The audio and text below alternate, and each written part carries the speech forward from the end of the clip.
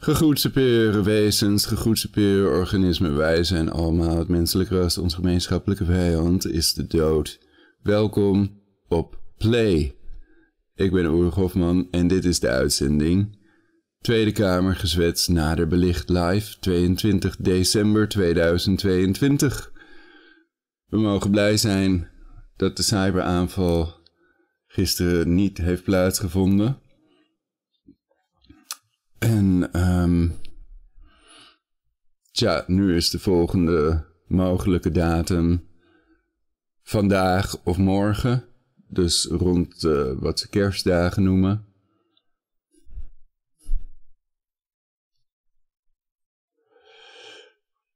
Sommige mensen noemen professor Clown Schwab Satan Klaus.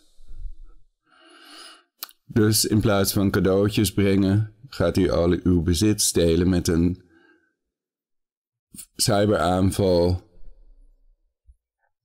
die gedaan wordt met voorbedachte raden. Um, wat ook blijkt uit het feit dat Joe Biden die cyberaanval acht maanden terug al heeft aangekondigd. Hij zei, it's coming. En dat ze nog steeds niets hebben gedaan om die onmogelijk te maken. Wat makkelijk is door Intel Management Engine uit te zetten. Heb ik ook in mijn vorige uitzendingen belicht.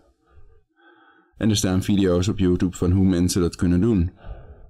Dus iedere computer die aan het internet gekoppeld is, van de banken, de stroomvoorziening en het globale financiële systeem, iedere computer die aan het internet gekoppeld is, zal helemaal kapot zijn en de hardisks zullen gewist zijn.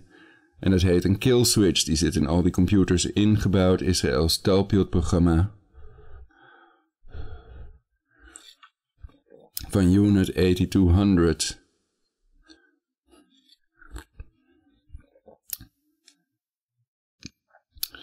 Dus we gaan kijken naar wat er allemaal in de Tweede Kamer besproken wordt. Maar ik ben van plan om daar heel veel commentaar aan toe te voegen. En één belangrijk ding wat ik u wil laten zien is dit vers het aantal misgeboortes, stilgeboortes per jaar.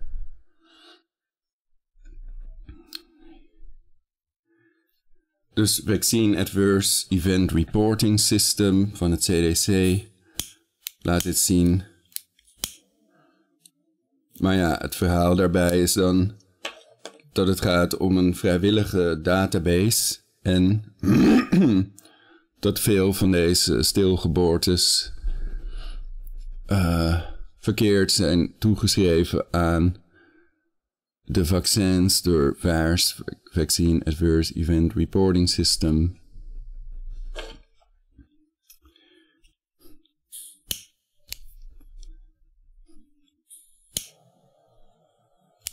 En dat het komt omdat ze nog nooit eerder zoveel spuitjes, zoveel injecties hebben gegeven wereldwijd. 5,35 miljard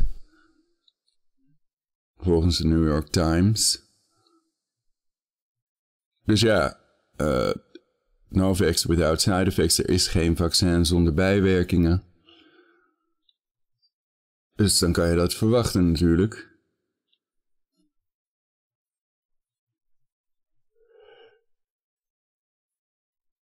Maar in theorie is het mogelijk dat uh, geen van deze stilgeboortes zijn veroorzaakt door het vaccin. Uh, nu zijn er doktoren die beweren dat ze met zekerheid hebben aangetoond dat het door het vaccin is veroorzaakt.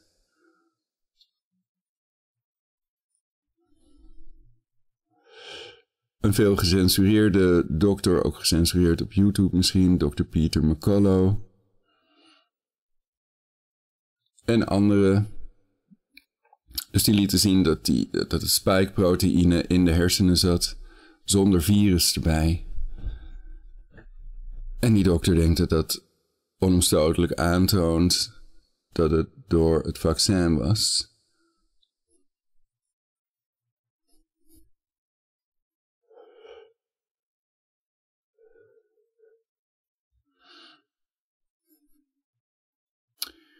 Um, Maar goed, laten we overschakelen op die Tweede Kamer.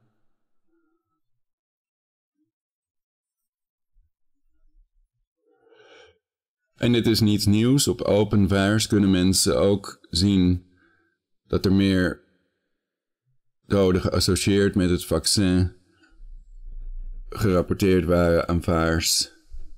Uh, vaccinbijwerkingen gerapporteerd waren in 2020. Open vers. Dan in 30 jaar daarvoor gerapporteerd waren in totaal voor alle vaccins aan vaars. Maar zolang dat vrijwillig is, is dat geen goede manier om het werkelijke aantal te vinden. Dus volgens studies, volgens een studie, zijn er ongeveer 100 keer meer bijwerkingen dan zijn gerapporteerd aan vaars in werkelijkheid. Die pagina moet nu laden. Oké. Dus uh, dat is een uh, soortgelijke grafiek. Kijken of ik hem op mijn browser kan zetten.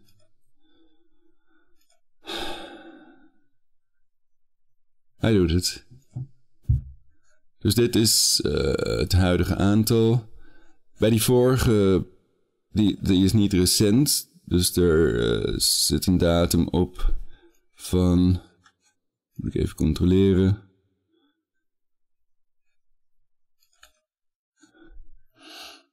Dit was 29 oktober 2022.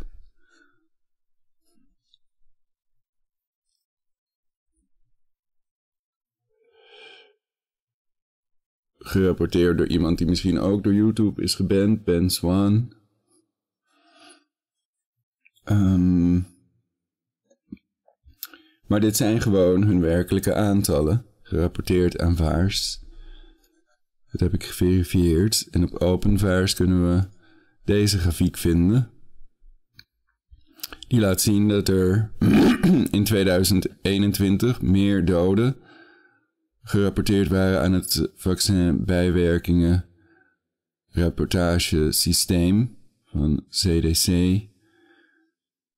Meer vaccin of uh, ja, meer doden dan in 30 jaar in totaal gerapporteerd waren aan vaars. Voor alle vaccins. En ja, als je 5,35 miljard spuitjes zet, dan vinden ze dit eigenlijk een heel laag acceptabel aantal.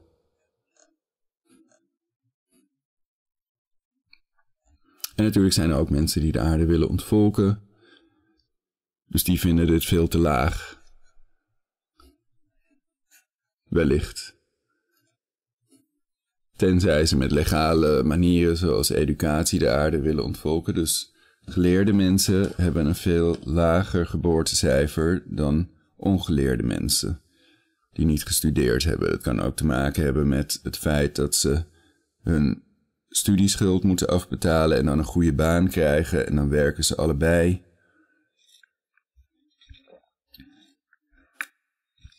En dan vinden ze dat ze geen tijd voor kinderen hebben. Of die belanden in een crash of zoiets.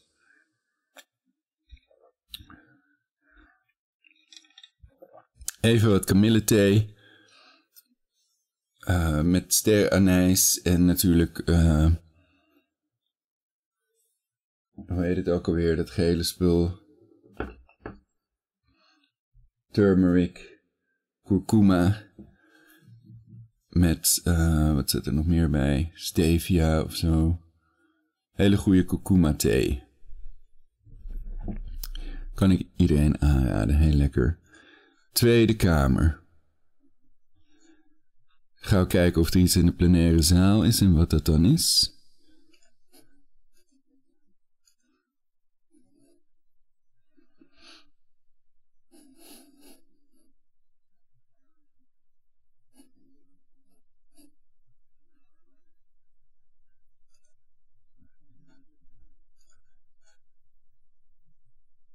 Yes, ze zijn bezig. Nou ja, het lijkt op een pauze.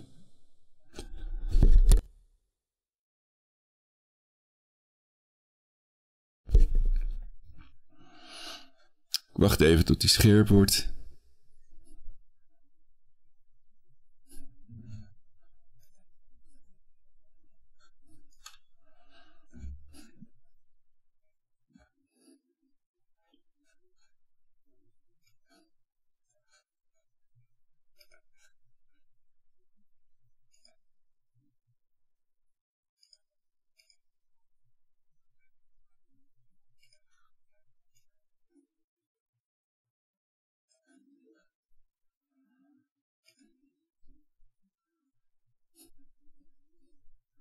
Oké.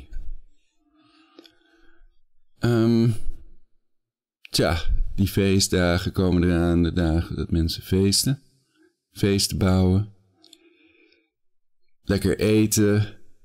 Knus bij de open haard, misschien met kaarsjes erbij.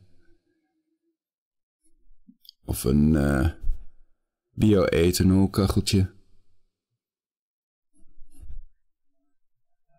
Zodat ze niet doodgaan aan de PACs, de PAK's.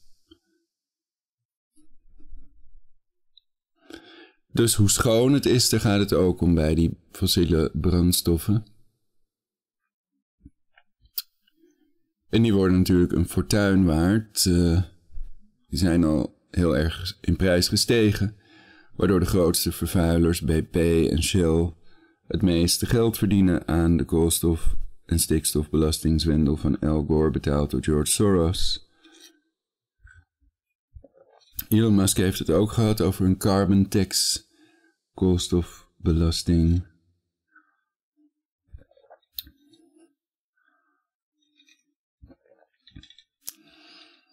En dat is natuurlijk een ideale methode om iedereen die geen elite is, niet tot de hoge inkomensgroep behoort, de midden- en lagere inkomensgroepen helemaal uit te roeien. Als er geen nivellering plaatsvindt, als ze die mensen die daar het meeste aan verdienen, niet het meeste laten betalen. De mensen met de grootste carbon of koolstofvoetafdruk wordt het genoemd, carbon footprint. Uh, dan zal uh, mogelijk uh, eh, 90% van de wereldbevolking eraan bezwijken, omdat het een gigantische crisis creëert en alleen de corporaties overblijven omdat het midden- en kleinbedrijf verhoudingsgewijs veel minder betaalt voor energie dan de corporaties die dat makkelijk op kunnen hoesten. Um, nou ja, misschien moeten we even in een andere zaal kijken, de agenda erbij halen.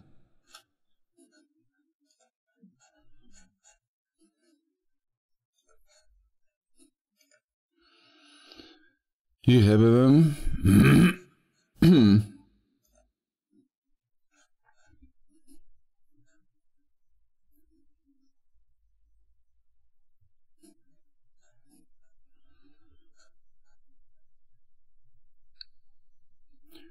Nou, nu live twee minuten debat herstel operatie kinderopvang toeslag. In een andere zaal procedure vergadering vaste commissie voor defensie. Is misschien interessant. Nu live politie, ook interessant. Procedure vergadering vaste commissie voor onderwijs, cultuur en wetenschap. Ah. Ik heropen de vergadering. Aan de orde is het twee minuten debat natuur. En we zijn inmiddels aanbeland bij de beantwoording van de minister. Uh, voor de resterende vragen en de appreciaties van de moties. Waarbij ik nog even wil opmerken, net naar aanleiding van uh, de, de inbreng van de heer Thijssen. Dat uh, hij heeft twee nieuwe moties ingediend in dit debat. Die gaan we zo horen qua appreciatie. Maar hij verwees ook nog naar niet één, maar twee moties. Uh, die uh, begin van de week heeft ingediend bij een ander debat. Uh, waar de appreciatie nog voor open stond dat die zagen op het beleidsterrein van deze minister en niet van de minister die toen dat twee minuten debat had. Het gaat om, en ik zal deze keer goed zeggen, 36.200, Romeinse cijfer 14, nummer 111 en nummer 112. Uh, daar kijk even naar de minister of het klopt dat zij ook daar straks de appreciatie van geeft. Ja, en dan alvast een voorwaarschuwing. Deze twee moties zullen dan vanmiddag al in stemming komen. Uh, en de andere moties, maar dat zal ik later nog een keer benoemen, komen pas vanavond in stemming. Dat gezegd hebbende, geef ik de minister het woord. Voorzitter, en dan toch voor de volledigheid heb ik ook nog op mijn stapeltje een motie van mevrouw Vestering over bewustwordingscampagne illegale handel met betrekking tot biodiversiteit. Daar heb ik ook nog een appreciatie op, maar geen nummer. Gaan wij het Dus nummer nog even na? dan ja. eh, gaan wij het nummer na als u dan bij de vragen begint en de andere moties. En dan doen we deze drie moties dan eh, even aan het einde. Dan zorgen wij dat wij het nummer hebben op dat moment. Fantastisch.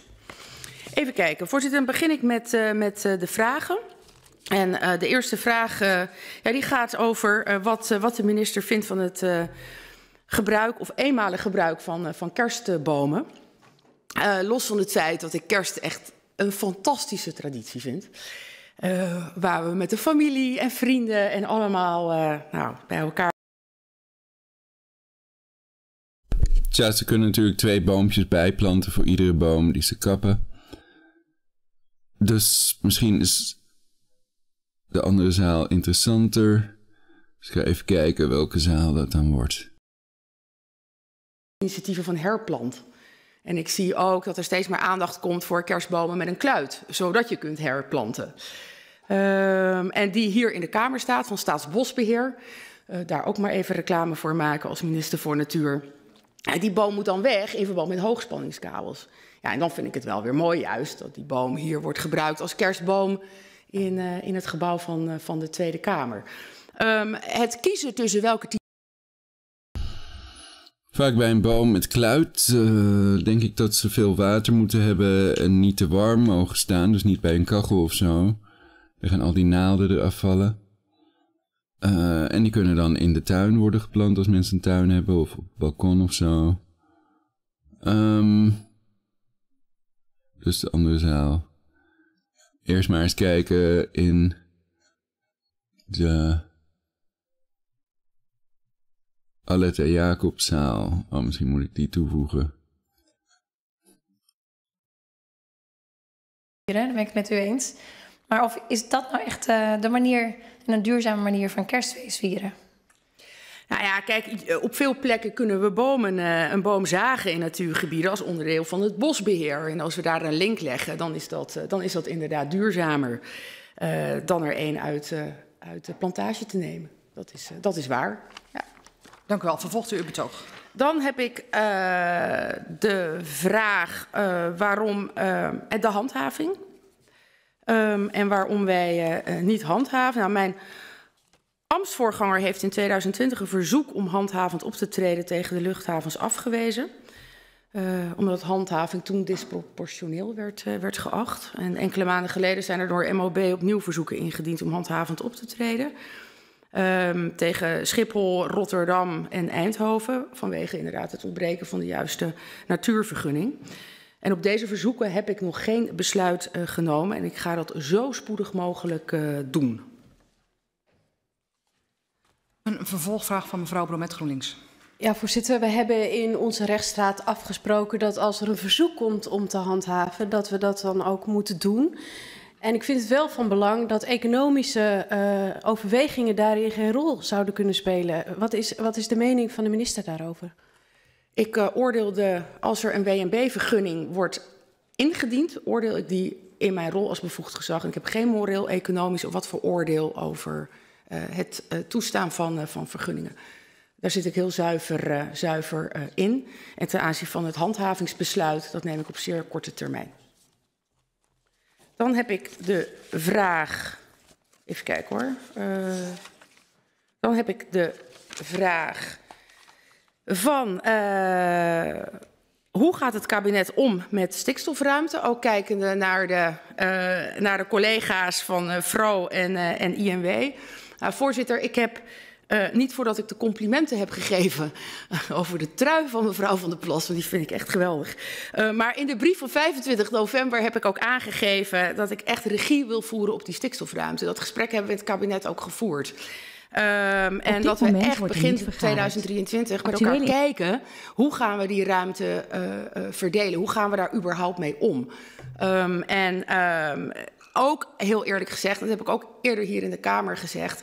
Het is ook wel een feit van het voeren van het juiste gesprek op het juiste moment. Uh, laten we eerst uh, eens zorgen dat we stikstofruimte creëren met elkaar.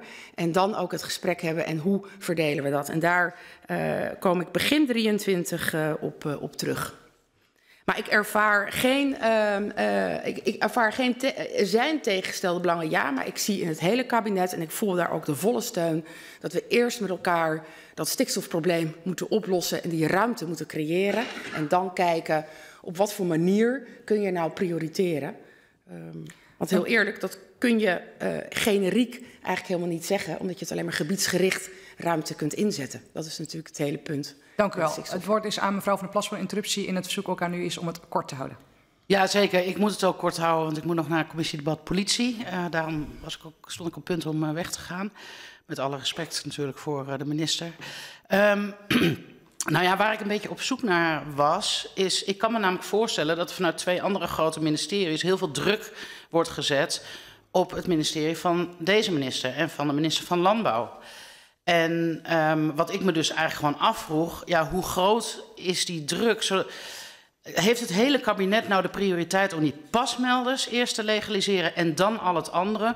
Of komt er druk vanuit het ministerie van, uh, van Wonen, hè, van de minister van Wonen um, en van de minister van uh, INW, Infrastructuur en Water, om ja, hun eigenlijk voorrang uh, te laten geven. Terwijl in het regeerakkoord, coalitieakkoord en ook in het rapport Remkes heel duidelijk staat vermeld dat die pasmelders gewoon voorrang krijgen. En ik ben een beetje bang, oh, ik weet niet of het zo is, maar dat kan de minister misschien zeggen, dat deze minister en de minister van Landbouw eigenlijk een soort van overruled worden, omdat dat dan weer grotere opgaven zijn.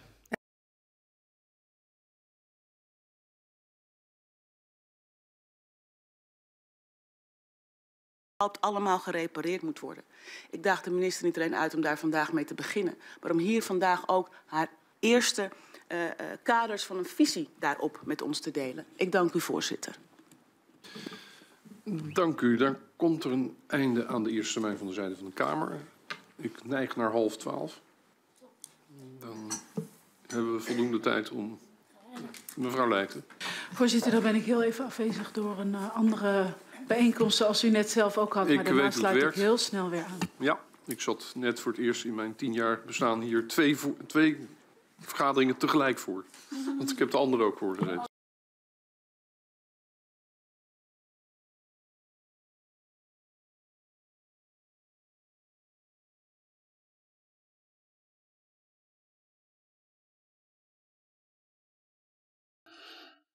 Nou, eerst zat ik in de. Wat was het? Uh, ik had een nieuwe zaal toegevoegd. De Aletta Jacobszaal. En daar was het ook al afgelopen.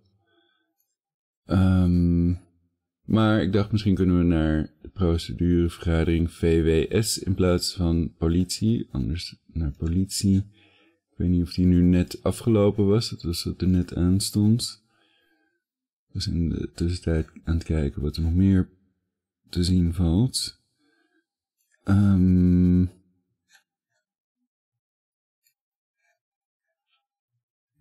Groen van Prinsteurzaal. Oké. Okay. Kijken of die het doet. Daar is ook niks. Geen openbare vergadering in de zaal op het moment.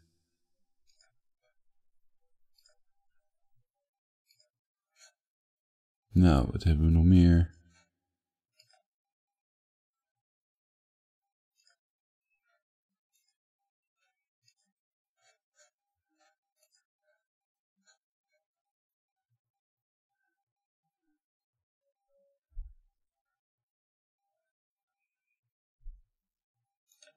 Onderwijs, cultuur en wetenschappen.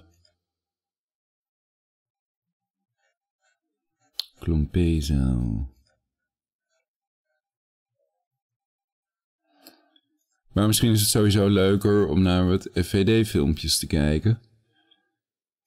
Daar leren we meer van over het algemeen. Dan van het gezwets in de Tweede Kamer.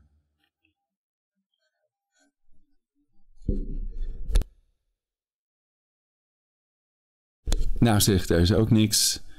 Dus het lijkt alsof, eh, alsof er heel veel aan de gang is. Maar in werkelijkheid hebben ze allemaal pauze of eh, is het al afgelopen.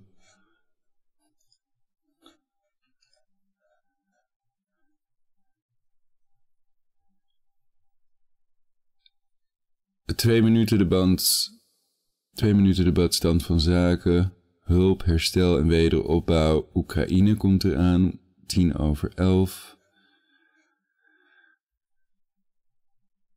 En Commissie Binnenlandse Zaken. Ja, politie moet straks weer verder gaan.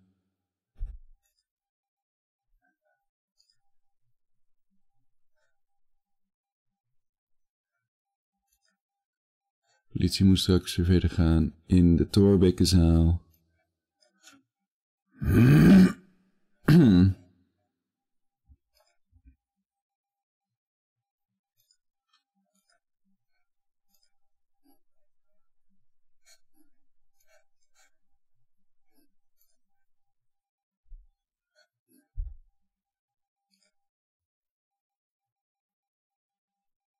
Momenteel nog steeds geschorst.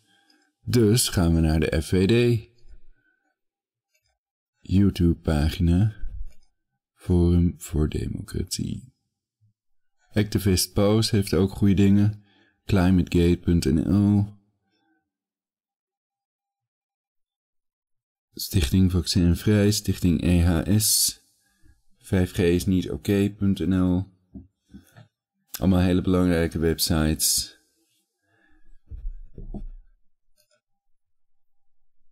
voor een betere toekomst voor het Nederlandse volk en om de ontvolking met maatregelen zoveel mogelijk tegen te gaan. Overheid plundert onze welvaart voor globalistische projecten, Dekker FVD 14 uur terug. Van Houwelingen sloopt mondkapjesdeal met Siewert van Linden.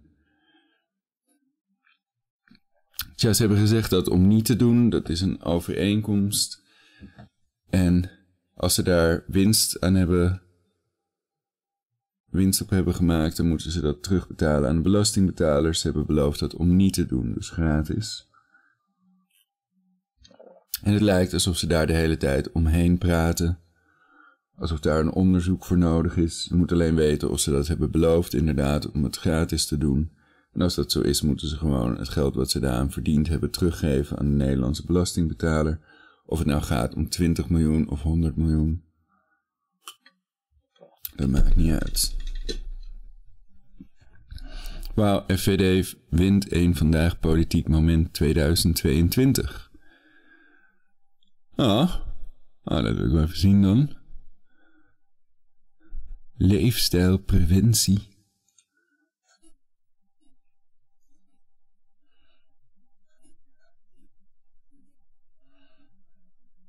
Laten we daar maar eens mee beginnen. Dat is één minuut.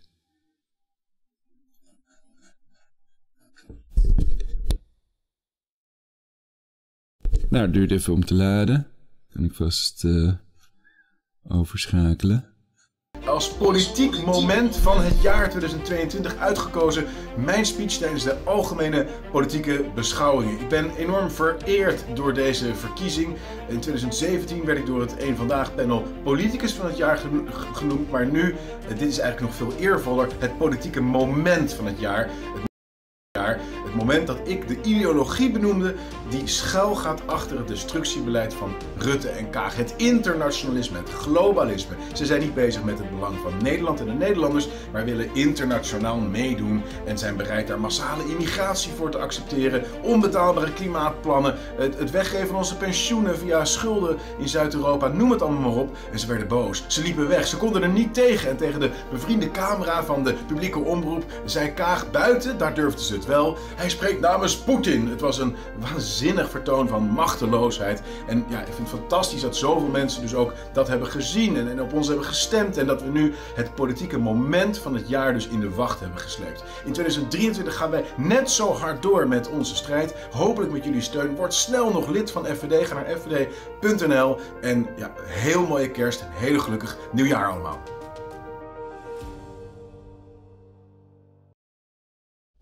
Oké, mooi. Dus ja, de belangrijkste dingen zijn ook bijvoorbeeld het de-escaleren van die oorlog. Dat doe je niet door meer wapens te sturen of door sancties. Daarmee escaleer je het alleen maar. Dus je moet juist de-escaleren, stoppen met wapenleef, met de stoppen met wapenleveranties en de oorlog stoppen, de bloedige oorlog. Agressieoorlog van Novichok Poetin, die door Joe Biden oorlogsmisdadiger is genoemd. Oh.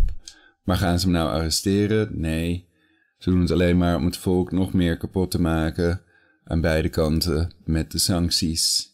Iedereen af te sluiten van voedsel, energie, een dak boven hun hoofd en het globale financiële systeem met een illegale cyberaanval met voorbedachte raden.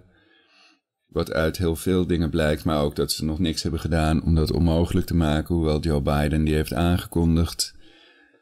Hij zei It's Coming wat betreft die cyberaanval, wat u ook kunt zien op dit kanaal hier op YouTube, op Play.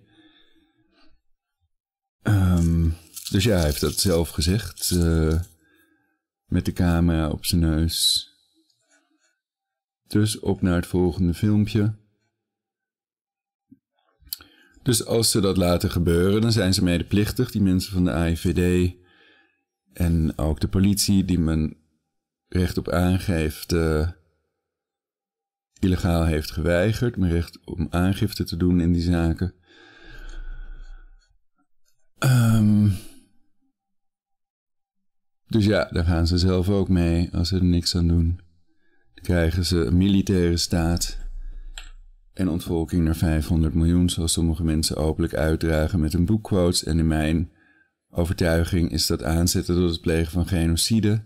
Aarde ontvolken naar 500 miljoen en de wereldbevolking onder 500 miljoen houden. Maar zij vinden dat het allemaal mag.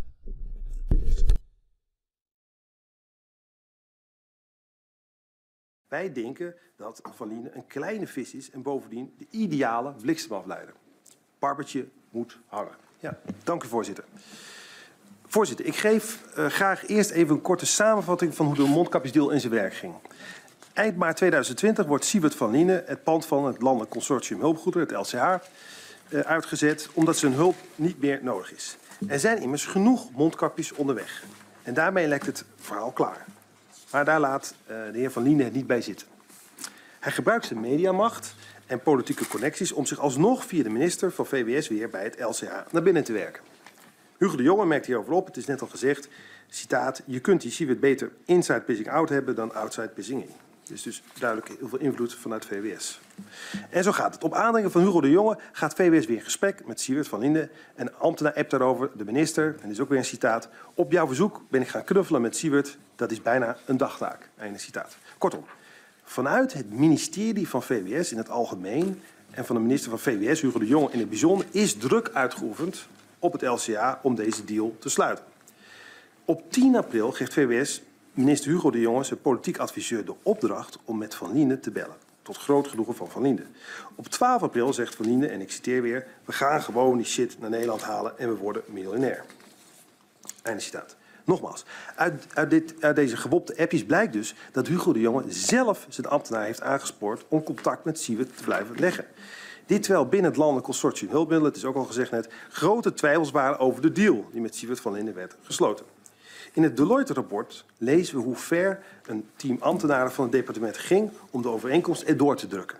Ondanks protesten van professionele inkopers die herhaaldelijk zeiden dat er al ruimschoots voldoende mondkapjes waren besteld.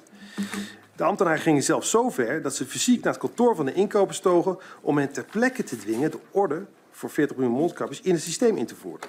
Wat zit hier in hemelsnaam achter? Hoe kan zoiets gebeuren? En dat terwijl het LCA op 10 april in zijn nieuwsbrief meldde dat er 62 miljoen uh, FFP2 mondkapjes onderweg waren naar Nederland. Nog meer orders zaten toen in de pijplijn. Op 16 april, zes dagen voor de deal met Civics BV, waren er 74 miljoen mondkapjes onderweg. Meer dan genoeg voor zes maanden bevoorrading van de zorg, bij een blijvende piekvraag. Die cijfers kunnen VWS niet zijn ontgaan. Op 16 april meldde Hugo de Jonge tijdens een Kamerdebat dat er nog altijd wereldwijde schaarste was aan beschermingsmiddelen. Zo bleef in de Kamer en in het land het idee leven dat we met een schijnend tekort kampten. Terwijl al tientallen miljoenen mondkapjes onderweg waren dus. Uit het rapport blijkt niet wie de knoop doorhakte. En de opdracht gaf om akkoord te gaan met Siewits deal. Wat ook niet uit het rapport blijkt is of VWS wist dat de winst in de zakken van Valide en Co. zouden belanden. Aangezien het geld naar Siewert Liefgoed Alliance BV ging... in plaats van dus die stichting Alliance, Alliantie. Ook dit was binnen de Rijksoverheid bekend. Van Rijn appte de jongen op 29 april dat Van Liende een grote orde voor 40 miljoen mondkapjes had gekregen. Hij had nog geen productervaring, een citaat, dat appje. Hij heeft een hele goede deal kunnen sluiten. Dat heeft Van zeker. Maar was hij ook de enige? dat is de hamvraag, denken we. Natuurlijk niet. Sterker nog, wij denken dat Van Liene een kleine vis is en bovendien de ideale bliksemafleider. Parpertje moet hangen. De manier waarop een samenwerkingsverband als het Landelijk Consortium Hulpgoederen, maar ook Stichting Open Nederland opereert, werkt, werkt, werkt namelijk dit soort vormen van belangenverstrengeling en zelfverrijking in de hand. We lichten dit graag kort toe, voorzitter. Volgens een mooie Chinees gezegde wordt verkeer dat op het midden van de weg rijdt van twee kanten door het verkeer aangereden. Met andere woorden, het is vaak verstandig om te kiezen. Het LCH was daarentegen vlees nog vis. Enerzijds was het een door de staat ingesteld inkoopkartel, waar concurrenten bij elkaar zaten. De markt werd uitgeschakeld en centraal werd ingekocht. Van de disciplinerende concurrerende werken die van de vrije markt in het algemeen kan uitgaan, en aanbesteding in het bijzonder, bleef zo dus niets over. In zo'n situatie is zeer streng toezicht vanuit de staat, de media en het publiek noodzakelijk. Om misbruik van publiek geld te voorkomen. Zeker als het LCH ook nog eens de creditcard van VWS, de staat dus in handen heeft. En dat was eigenlijk het geval. Maar dat disciplinerende toezicht, dat is wat ons betreft de kern van het probleem, vanuit de politiek en media ontbrak. Omdat het LCH enorm intransparant was en nog steeds is voor de buitenwacht. Voor de politiek en de media dus. Het convenant dat deelnemers moesten tekenen is strikt geheim en bevat talloze geheimhoudingsbepalingen. Deelnemers aan het LCH moesten zelfs voor de buitenwacht geheim houden dat ze het convenant hadden getekend. Een geheimhoudingsverplichting waar Siewert van Linde en de andere deelnemers ook niet onderuit konden komen hè, toen ze zichzelf wilden verweren. Met het LCH is een hybride organisatievorm opgericht, een intransparant zwart gat hebben we het ook wel eens genoemd, dat niet volledig onder de controle is van de staat en de politiek, maar ook niet door marktkrachten wordt ingetoond. En dan is het dus een koud kunstje voor handige jongens, zoals Siewert van Liene, om er met de kas vandoor te gaan, ondanks dat partners binnen het LCA formeel zonder winstoogmerk zouden opereren. Bijvoorbeeld, dat is dus gebeurd, door een aparte onderneming buiten het LCA op te richten, die formeel als leverancier optreedt en dus wel winst mag maken. Siewert is dankzij speurwerk van de Volkskrant toevallig tegen de lamp gelopen, maar er zijn zonder twijfel nog veel meer Siewerts binnen het LCA rijk geworden. Zo weten we dat inkomens van Bunzel, een fabrikant van medische hulpmiddelen, via het LCA erin geslaagd zijn miljoenen aan commissies binnen te halen. Zonder al die geheimhoudingsbepalingen hadden politiek en media kunnen meekijken. Dat is, eigenlijk, dat is zo belangrijk. En was dit waarschijnlijk allemaal niet gebeurd? Onze vraag aan de minister is dus, waarom is er gekozen bij het oprichten van het LCA voor zo'n strikte geheimhoudingsbepalingen? Waar, waar moet alles geheim zijn? Waarom kan niet bekend worden gemaakt, desnoods achteraf, hè, nadat het LCA, en dat was immers bedoeld als een tijdelijke constructie, weer is opgegeven, wie het convenant hebben getekend en welke transacties binnen het LCA zijn gesloten? En met wie en voor welke prijs? We weten het allemaal niet. Hetzelfde, voorzitter, zien we trouwens bij Stichting Open Nederland. Verantwoordelijk voor de testlocaties in Nederland tijdens de coronatijd. Ook hier is bewust een chimera, een hybride vorm tussen markt en overheid opgericht waar vanuit zowel de markt als de overheid, dat wil zeggen dus publiek en media, nauwelijks controle op kon worden uitgevoerd. Wederom een zwart gat dus. Mijn collega, collega Gideon van Meijden heeft, om zijn controlerende taak goed te kunnen doen, herhaaldelijk gevraagd om een overzicht van alle transacties die zijn verricht binnen deze stichting. Vandaag zien we hoe belangrijk het is dat we zo'n overzicht hebben. Keer op keer heeft hij echt een nul op het request gekregen. Op 22 november schrijft het ministerie van VWS een antwoord op zijn verzoek het volgende. Het staat hier in de antwoord op Kamervragen. Ik citeer. Ik zag en zie geen aanleiding om onderzoek te doen naar alle individuele transacties van Stichting Open Nederland. En dat is antwoord op een Kamervraag om die transacties dus te krijgen. En dat is heel ernstig. Heel ernstig. Het is namelijk precies deze laconieke en kritiekloze houding van VWS die ervoor heeft gezorgd dat Siewert en Kopanen er met miljoenen euro's vandoor konden gaan. Dat VWS dit laat gebeuren is nog tot daartoe, dat is natuurlijk eigenlijk heel erg. Maar oké, dat ze Kamerleden, ons dus, en de media het ook onmogelijk maken uh, hun onze wettelijke taak, eigenlijk controlerende taak uit te voeren, door ons allemaal deze informatie te onthouden, is al helemaal onbegrijpelijk. Vandaar hierbij nogmaals een dringende vraag aan de minister. Geef ons niet alleen een overzicht van alle transacties binnen Stichting Open Nederland, maar ook een overzicht van alle transacties die zijn uitgevoerd binnen LCH. Hè, waar Mendiek dus het, het, het, de centrale spin in het web was. Dit overzicht is, weten we, al geleverd aan Deloitte voor het onderzoek naar de mondkapjesdeal. Dat bestaat, het is gewoon een SAP-overzicht, kan dus heel snel en vrij simpel, denken we, naar de Kamer worden gestuurd. Doe dat. Als VWS geen aanleiding ziet om, ik citeer weer uit de antwoorden van het ministerie, onderzoek te doen naar alle individuele transacties binnen het LCA, is het immers des te belangrijk dat wij als Kamer en journalisten trouwens dat wel kunnen doen. Zodat ook de grote sievets, die, die tot nu toe buiten het licht van de schijnwerpers zijn gebleven, kunnen worden opgespoord. Dat brengt mij, voorzitter, tot mijn laatste punt. En dat is het financieel beheer bij VWS. Zoals bekend is dit een groot probleem dat aan het licht is gekomen tijdens de coronacrisis. Als rapporteur heb ik hier de afgelopen jaren extra aandacht aan besteed. Vooral de aanbesteding was en is, naar mijn mening, een groot probleem. Tijdens de coronacrisis zijn de aanbestedingsregels niet gevolgd. Misschien nog te begrijpen tijdens de eerste paar maanden van 2020, maar ook het afgelopen jaar heeft VWS met een beroep op dwingende spoed de aanbestedingsregels buiten werking gesteld en opdrachten rechtstreeks gegund. Zo is, begrijpen we uit een brief van de minister van 5 oktober over de voortgang van het financieel beheer bij VWS, de overeenkomst met Stichting Open Nederland met een beroep op dwingende spoed zonder aanbesteding dus verlengd. Stichting Open Nederland die, ze hebben we van meerdere bronnen ingefluisterd gekregen, veel te veel heeft betaald voor testen en zo handige ondernemers rijk heeft gemaakt. Stichting Open Nederland, waarvan we dus het transactieoverzicht maar niet krijgen. Van deze stichting is dus met een beroep op dwingende spoed, die normaal, begrijpen van de Algemene Rekenkamer, alleen wordt gebruikt bijvoorbeeld bij een dijkdoorbraak, de overeenkomst zonder aanbesteding verlengd door VWS. Hoe kan dit? Vragen we aan de minister. Het risico dat er te veel wordt betaald voor publieke diensten en handige ondernemers, zoals het, en met miljoenen euro's aan publiek geld vandoor kunnen gaan, blijft zo immers bestaan. Vandaar nogmaals, en tot slot voorzitter, een klemmend beroep van ons op de minister om alle transacties die zijn gesloten binnen Stichting Open Nederland en het Landelijk Consortium Hulpmiddelen aan de Kamer te verstrekken. Dank. Dank u wel, meneer Van Houwelingen. Nog een vraag van meneer Van Hagen. Ja, voorzitter, de, heer Van Houwelingen vroeg mij net over ja, hoe we dan die, uh, uh, die transacties boven tafel kunnen krijgen. Maar kijk, in een noodsituatie kan je natuurlijk de, de grondwet, grondwet de, de, rechten uit de grondwet uh, buiten werking stellen. Maar we zitten nu niet in een noodsituatie meer. Maar we zien dat op democratische wijze, gewoon door een meerderheid, door de coalitie, toch ons grondwettelijk recht op informatie buiten werking wordt gesteld.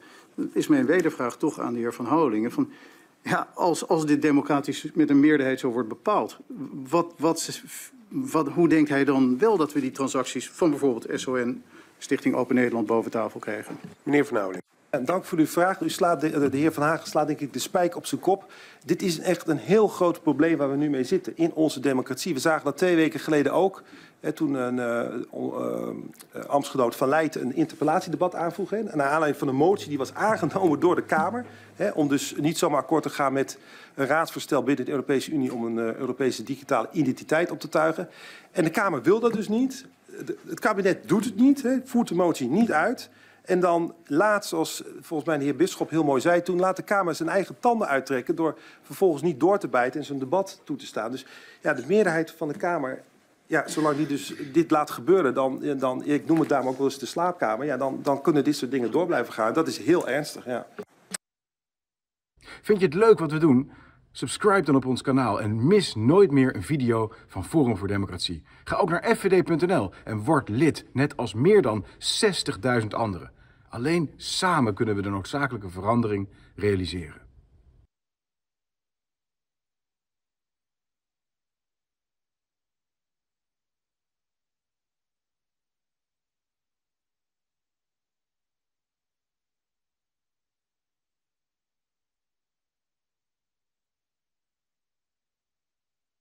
Voorzitter, de najaarsnota 2022 geeft de laatste stand van zaken van de uitgaven en inkomsten van de Rijksoverheid.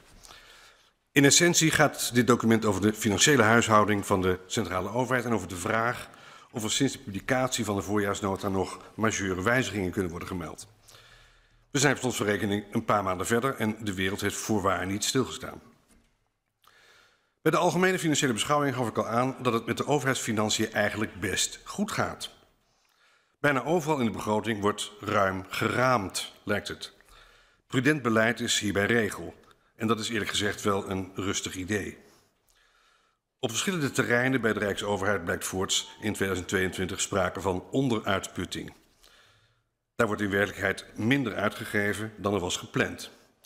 Dat klinkt goed, maar in bijna alle gevallen betekent dat dat er minder van het geplande werk kon worden uitgevoerd dan het plan was.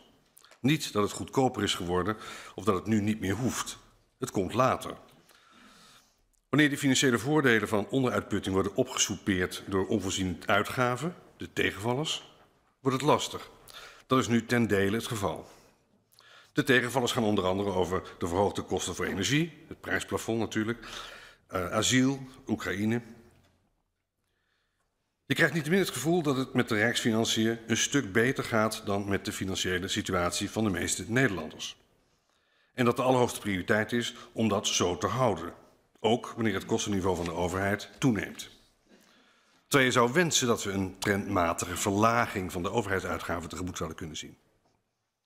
Forum Democratie is van mening dat de overheid veel te groot is geworden en dat rijksuitgaven aan beleidsprioriteiten als massa-immigratie, klimaatbeleid en energie, corona, EU-euro, stikstof natuur en internationale projecten zouden moeten worden verminderd of zelfs gestopt. Maar voor de korte termijn biedt het niet onmiddellijk soelaas voor burgers in de problemen. Om die reden waren wij voor het onmiddellijk lenigen van de financiële nood als gevolg van de stijgende gasprijzen. Hoewel we de verhoogde energieprijzen uiteindelijk zelf met ons duurzaamheids- en anti-Rusland beleid hebben veroorzaakt. Het perspectief vanuit Rijksfinanciën levert soms navrante beelden op. Zo lijkt het dat de energiekosten, maatregelen, begrotingsgewijs voor een belangrijk deel worden geneutraliseerd door het belasten van energieoverwinsten en het terugdraaien van de voorgenomen verlaging van de energiebelasting. De BTW wordt weer verhoogd naar 21 procent. Dat voelt als een sigaar uit eigen doos. Of in ieder geval als een maatregel die de overheid zelf geen pijn doet. In het kader van de winterization Oekraïne heeft het kabinet besloten om 162 miljoen Nederlands belastinggeld bij te dragen aan de borging van elektriciteit en warmte ter plaatse. Dit terwijl veel Nederlanders zich gedwongen zien om de kachel lager te zetten, omdat ze de verhoogde brandstofprijzen niet meer kunnen betalen.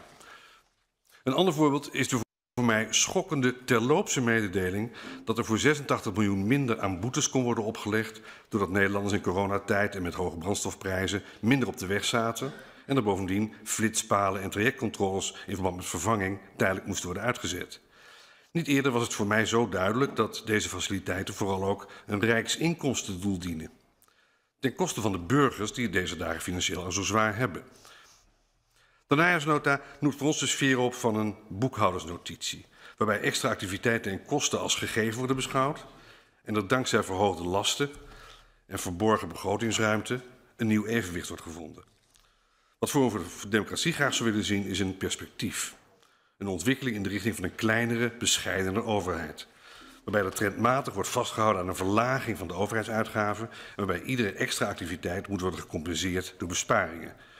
En waarbij de vermindering van lasten voor de burger een leidend beginsel is. Dank u wel. Vind je het leuk wat we doen?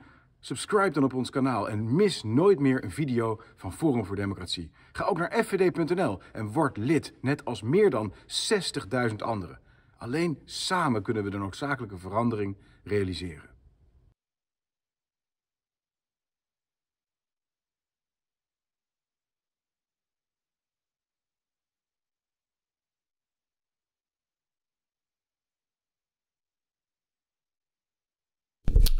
Kuipers speelt verstoppertje na vragen over vaccinatieschade. Ik heb dat ook eerder aangegeven. Ehm, wat ik eerder heb aangegeven is dat Kuipers had gelogen. Volgens geenstijl.nl. Dus mensen kunnen dat artikel gewoon online vinden. Maar nu eerst Kuipers speelt... Kuipers speelt verstoppertje naar vragen over vaccinatieschade. Hartelijk welkom bij de laatste procedurevergadering van 2022. 2022. Volgend jaar mogen we verder. Uh, om te beginnen. Dus eerst uh, hebben we dan de Tweede Kamer. Daar gaan ze beginnen. Even kijken wat dat is. Die had ik op scherp gezet, zodat we kunnen horen wanneer ze weer verder gaan.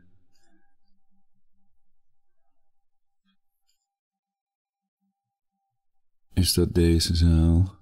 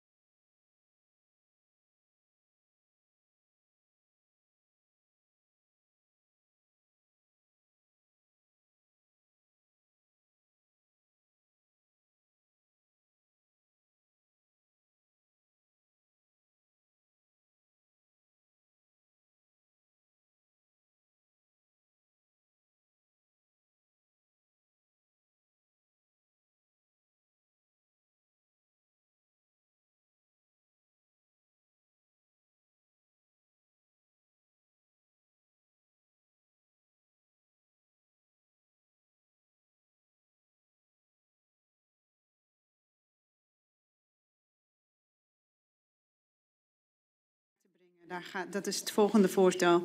Um, en dat, dat die uh, de kennisactiviteiten organiseren en dan daarna pas een datum te prikken, zeg maar. Heel goed. Um, ik weet dat er inmiddels nog een ander lid zich ook heeft gemeld. Mevrouw Leijten heeft zich ook ge gemeld. Oh, mevrouw Leijten. Ja, voorzitter, dat is voor het volgende punt. Maar als het gaat over die inbrengdatum, we hebben de vorige keer natuurlijk gezegd, we wachten tot de nota van wij. Ze hadden het over een cybernota of zo. En die zie ik niet bij die agendapunten. En. Um, die cyberaanval kan ieder moment plaatsvinden. Misschien de 25 december. Maar het kan ook vandaag al zijn. En die komt er zeker volgens Joe Biden. Die heeft gezegd: It's coming. en hoe kunnen ze er anders voor zorgen dat u geen bezit meer heeft en insecten moet eten? World Economic Forum. Professor Klaus Schwab, die heeft het ook uh, duidelijk gemaakt. Maar daar zijn filmpjes van, van het WEF. You will own nothing and be happy. En de meeste mensen willen dat niet. Die willen hun rechtmatige bezit behouden. En dat mag de staat ook niet doen natuurlijk. Onder het mom van de vermeende antropogene globale verwarming. En um, de maatregelen die hebben de crisis veroorzaakt. En natuurlijk meer doden dan de vermeende antropogene globale verwarming. Dat is ook de bedoeling. Het is een ontvolkingsagenda. U bent de koolstof die ze willen reduceren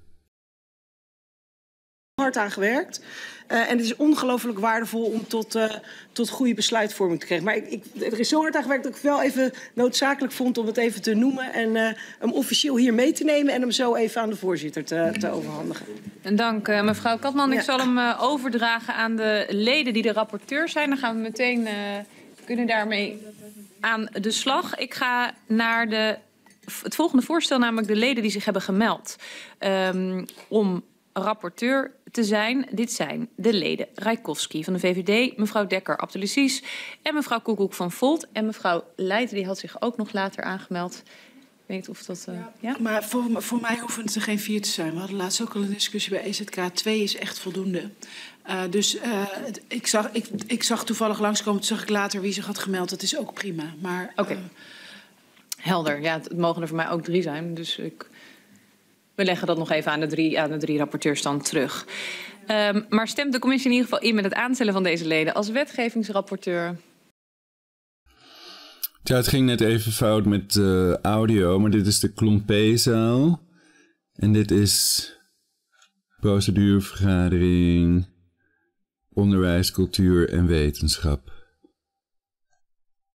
Dus ik dacht al, die punten die staan er toch niet bij staat ook niks over cyber.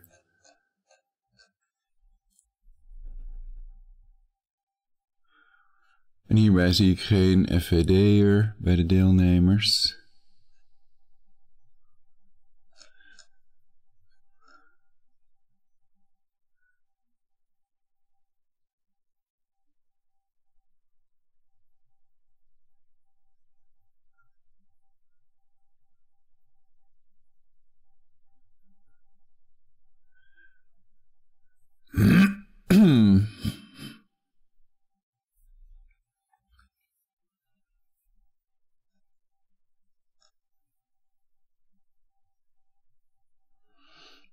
Plan van aanpak, persvrijheid en persveiligheid.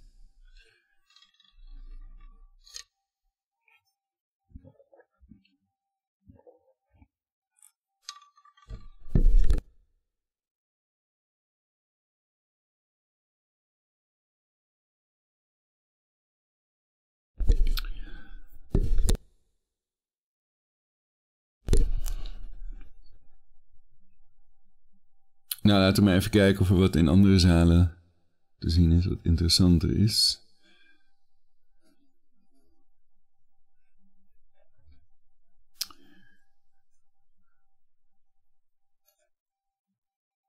Um, dit doe ik even.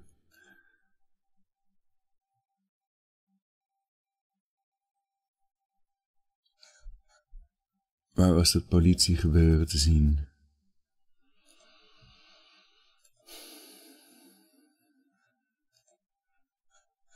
Torbekkenzaal. Oké.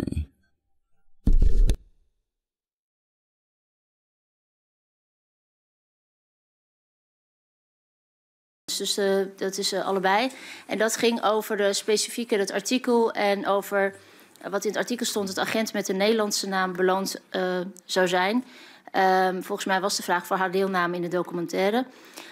Um, ik kan niet ingaan op individuele casuïstiek. Dus laat ik over die zaak dat gewoon zeggen. Daar kan ik gewoon nooit op ingaan. Dus ook niet als er dat uh, wordt gezegd. Uh, wat ik zelf heel, heel ingewikkeld vind aan wat hier gebeurt. Ik heb zelf ook, niet iedereen overigens, maar ook mensen van de documentaire gesproken, meerdere malen.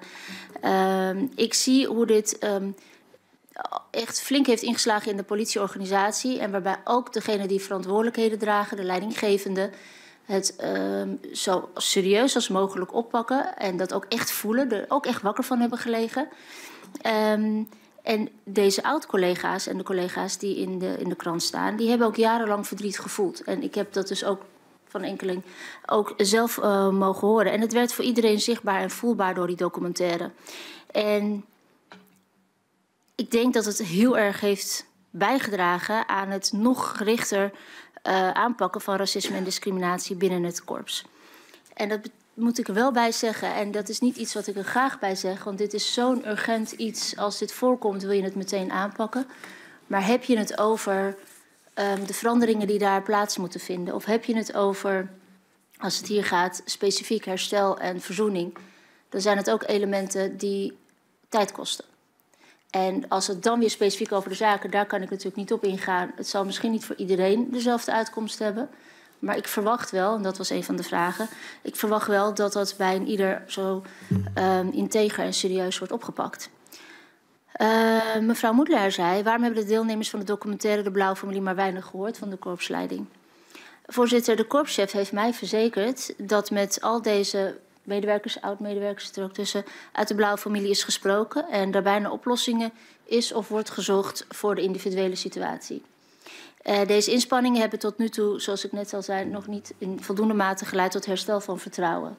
Um, hun oproep is gebruikt wel als versneller bij de aanpak van uitsluiting, discriminatie en racisme in de organisatie. En ik heb dat eerder gezegd en ik vond het oprecht heel flauw van de heer Azarkan dat hij zei alsof ik teksten uh, daarover van, uh, van de ambtenaren voorlees. Ik heb die documentaire gezien, ik heb mensen zelf gebeld, ik heb ze gesproken. Het raakt me als mens, als minister, als inwoner van dit land. Um, en als iemand die uh, echt van de politie houdt. Het raakt me dat dan vervolgens zo met mensen wordt uh, omgegaan. En ik heb eerder gezegd, en dat blijf ik herhalen... ik ben ook ontzettend dankbaar voor hun moed en hun... Uh, hun manier van opstaan en zorgen dat dit ook bespreekbaar wordt gemaakt. En de korpschef heeft mij, dat zeg ik richting mevrouw Moedler, want dat was de vraag, ook aangegeven om zich hiervoor te blijven inspannen. Daarnaast um, was de vraag. Ogenblik. Mevrouw Moedler, ik weet niet wat er op komt. Is dat ook een antwoord op, de vraag, op een vraag van mevrouw Moedler? Gaat dit allemaal over de blauwe familie? Wilt u nog even wachten? Nou, dat lijkt me allemaal niet belangrijk genoeg, dus laten we maar gaan luisteren naar Kuiper speelt Verstoppertje na vragen over vaccinatieschade. Van Houwelingen, FVD.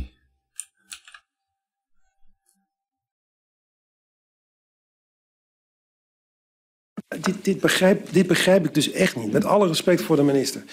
Mijn collega hier wijst op dus, uh, die correlatie, die ook in andere landen wordt aangetroffen trouwens. In mijn bijdrage heb ik allerlei andere ontzettend verontrustende signalen genoemd. Dus de acute zorg die vanaf 2021 veel vaker wordt ingezet. Of het nou de ambulances zijn, de first of rapid responders.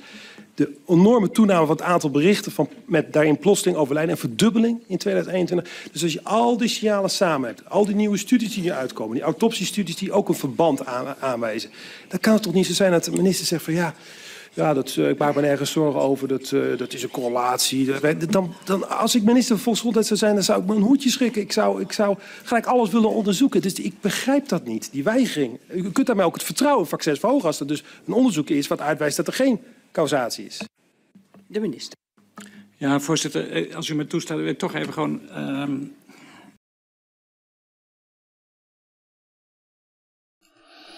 Ik zou hier niet naar luisteren als ik u was. Het EVM schermt de vaccinatiestatus van de COVID-19-doden af. En in andere landen kunnen we dat gelukkig zien. Dus deze mensen die liegen en u kunt er beter niet naar luisteren. Maar ik luister er wel naar om te zien wat ze nu weer bekokstoven. Een kanttekening maken bij de stappen die telkens gemaakt worden. Eerst is er een correlatie, dan uh, wordt. Dus dat is natuurlijk het eerste waar je naar moet kijken. De vaccinatiestatus, prikstatus van de COVID-19-doden. En die schermt het EVM af al snel iets waarschijnlijk. Uh, dan gaan we nog een stapje verder. En dan vervolgens is het de minister die bepaald onderzoek weigert en niet wil doen. En daarmee ook de suggestie dat de minister wat te verbergen heeft. De minister heeft helemaal niets te verbergen. De minister staat open voor ieder onderzoek. We hebben het onderzoek bewust zo ingezet, bewust ook naar aanleiding van de motie van de Kamer, om te zorgen dat er door onafhankelijke onderzoekers, de minister stuurt de onderzoekers niet aan, heeft geen vraag aan de onderzoekers, communiceert niet met de onderzoekers, maakt de keuze niet, het is onafhankelijk. En beter dan dat kan ik het eigenlijk niet doen. En als u zegt, nou, ik zou als heer Van Houwelingen wel heel graag een keer met die onderzoekers willen spreken en ze graag uh, van mijn kant een vraag mee willen geven, het staat u vrij. Maar het is niet aan de minister om dat te doen. En wat de minister al helemaal niet doet, is daar ook een keuze in maken. Dus dat moet u me ook niet in de mond leggen. En als ik mag, voorzitter, tot slot even over de onderzoeken die dan lopen, want dan kan ik u gelijk, ik kan u de onderzoekers ook bijgeven, u hebt het al gezien. Dus dan kunt u gewoon bepalen met wie u wil praten.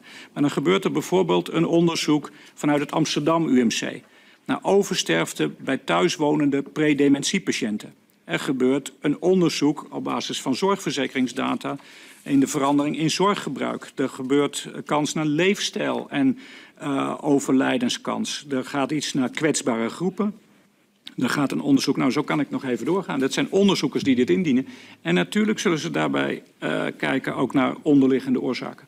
En als u graag wat anders wil, ik zou zeggen, praat met onderzoekers. Ik doe het niet, want ik mag me er niet mee bemoeien. Dat is niet meer onafhankelijk.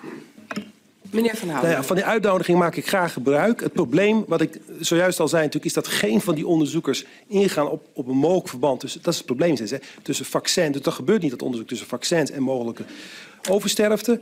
Uh, maar dan even toch uh, een andere vraag, uh, die ook ik, die ik ook in betoog had verwekt. Oké, u zegt van nou, dit, dit is zoals het nu gaat. Maar we zitten dan nog steeds, en dat is mijn punt even, met die vaccinatiecampagne. Want die gaat door. Hè, daar zijn we het over eens. In Denemarken bijvoorbeeld heeft men besloten, ook met al dit soort signalen, ook internationaal, weet je wat we doen? We gaan mensen die, uh, alleen mensen die ouder zijn dan 50 of mensen jonger dan 50 met ernstig onderliggende aandoeningen, alleen die gaan we nog vaccineren. Zo zou dat niet op zijn minst Nederland, zou de minister dan niet op zijn minst puur vanuit oogpunt van prudentie kunnen zeggen... nou, gezien dit alles, alles wat ik noem, wat ook wat mijn collega Van Haren noemt... laten we dan dat Deense model volgen en iets terughoudend zijn met het vaccineren... tot we de uitkomsten van die onderzoeken kennen. De minister. Ja, voorzitter, het mooie daarvan is dat we een model hebben à la Denemarken... waarbij we dat door een onafhankelijke commissie laten beoordelen, ons laten adviseren. Ik u het rapport ook stuur, we er ook over in debat kunnen gaan... En ik uh, een besluit neem. Dat, uh, dat comité, dat heet de Gezondheidsraad. Daar vraag ik wat aan en die komen met een advies. Telkens weer. Nieuwe campagne, nieuw vaccin, et cetera. Um, dat werkt uh, naar mijn idee fantastisch. Uh, en als de heer Van Houweling zegt, ja, dat moet je eigenlijk ergens anders vragen. Ik sta open voor iedere suggestie, maar ik denk dat het er goed belegd is. En het is onafhankelijk. Uw laatste interruptie. Uw laatste interruptie dat, is de, dat is het grote probleem geweest de afgelopen paar jaar. En daar zal de, daar zal de coronacommissie ook op ingaan. Uiteindelijk heeft de minister als politiek verantwoordelijk natuurlijk een eigen verantwoordelijkheid. Het is niet zo dat kan zeggen, oh ik ga alle adviezen uh, blindelings volgen. Er moet ook een eigen verantwoordelijkheid zijn, een politieke afweging. En dan nogmaals mijn vraag, waarom is dan bij u die politieke afweging anders uitgevallen dan dat het ze in Denemarken gemaakt hebben? Die Denen zijn niet gek, lijkt mij. Dus wat was daar dan de overweging van geweest? Ja, uh, voorzitter, Denen, Denen zijn uiteraard buitengewoon verstandige mensen. Uh, maar dat wil niet zeggen dat je op ieder moment, in iedere situatie, in een hele pandemie, uh, telkens hetzelfde besluit neemt. dus waarom op een bepaald moment een bepaalde keuze in Denemarken en een andere in Duitsland, et cetera. Ja, daar zijn verschillende afwegingen in te maken. Vind je het leuk wat we doen? Subscribe dan op ons kanaal en mis nooit meer een video van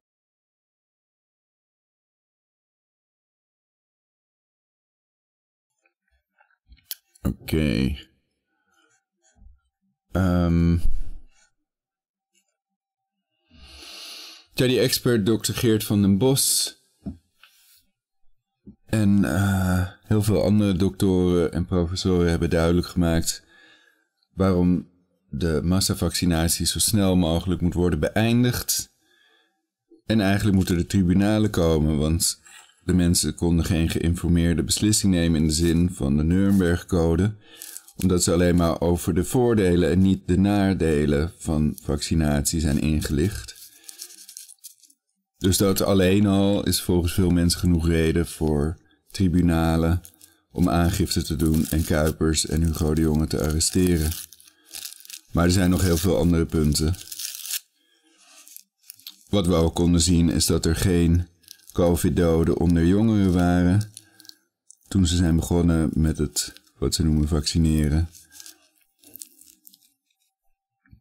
En nu zijn myo- en pericarditis niet zeldzaam meer onder kinderen. Wat het daarvoor wel was. Dus veel mensen zijn er ook valikant op tegen. Um, dus de vraag is eigenlijk, hoe kunnen ze daarmee doorgaan? Terwijl professor Marty McCary van Johns Hopkins Universiteit heeft duidelijk gemaakt dat natuurlijke immuniteit, op natuurlijke weg verkregen immuniteit 27 keer beter is dan de door vaccinatie verkregen onnatuurlijke immuniteit. En is dat niet gewoon massamoord? Dus dat is een Israëlische studie dat heeft aangetoond. En verder uh, zien we in al die andere landen, bijvoorbeeld in Engeland, dat 92,4% van de mensen die zijn overleden aan COVID, volgens hun officiële cijfers, volledig gevaccineerd waren, met de meeste doden onder de mensen die drie spuitjes hebben gehad. Um,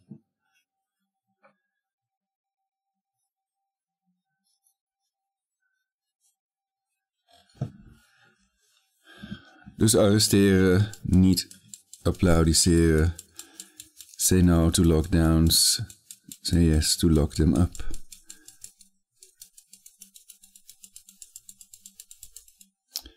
Um, wat hebben we nog meer? Nou ja, er zijn nog meer interessante video's op FVD, maar ook op mijn kanaal. Op het YouTube kanaal Play natuurlijk. Dus ik raad u aan daarnaar te kijken. En ik kan nog even kijken of er iets anders komt wat interessant is, maar ik betwijfel het.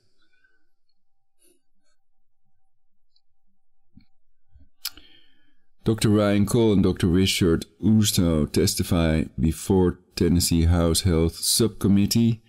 Bijna 10.000 views, 9 maanden terug. Hele interessante video. En ook Senator Malcolm Roberts exposes COVID measures and climate mismanagement. Must see important spread, 26 views only. And Klaus Schwab talks about changing people with genetic editing.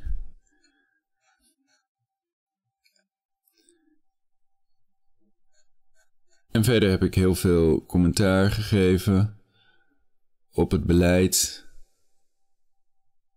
En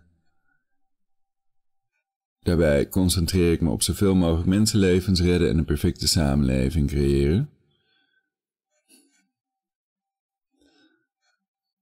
Um, maar ook Watch Space X Crew 4 mission depart space station totally fake, a hoax, a scam, question mark, live. Nou, de aarde is niet plat, maar balvormig.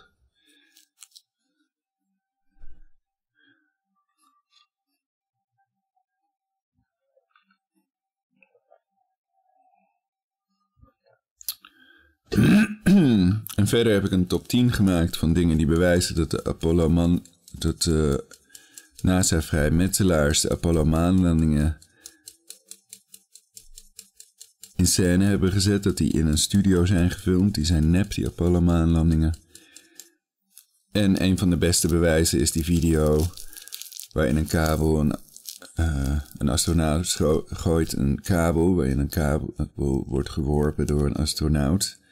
Astronaut gooit een kabel ergens op of nabij de lem.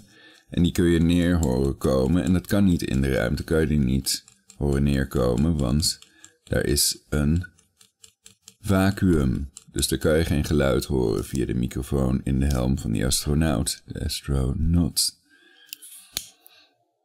En daarnaast heeft hij metselaars doen ook mee aan die koolstof- en stikstofbelastingzwendel van Al Gore betaald door George Soros. Om de wereldbevolking uit te roeien.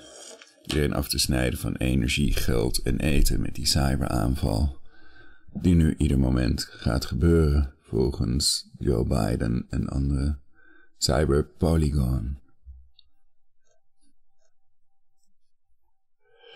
En daarover heb ik ook uh, video's gemaakt. Ook CRISPR-Cas heb ik belicht. Dat verandert pluizige hamstertjes in agressieve monsters volgens Metro Co UK, die studie. En een andere studie laat zien dat dat het genoom beschadigt. En 170 globale groepen willen daar een moratorium op, een verbod op CRISPR-Cas. Dus dat mag nooit verplicht worden gemaakt, omdat de lange termijn effecten ook nooit zijn getest.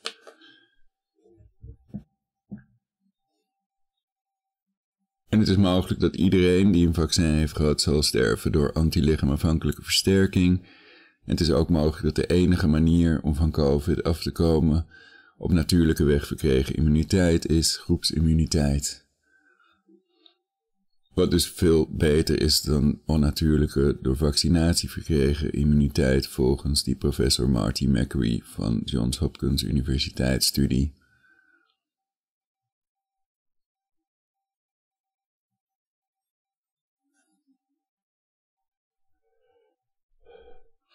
Dus sommige video's, of veel video's, hebben een vreemd laag aantal kijkers. Maar die Dr. Urso video heeft bijna 10.000 views.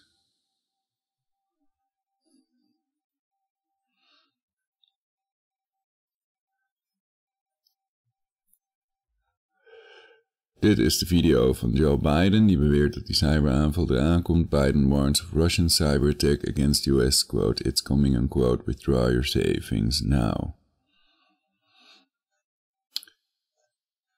Want dat is geoefend in Israel, cyber attack on global financial system warning.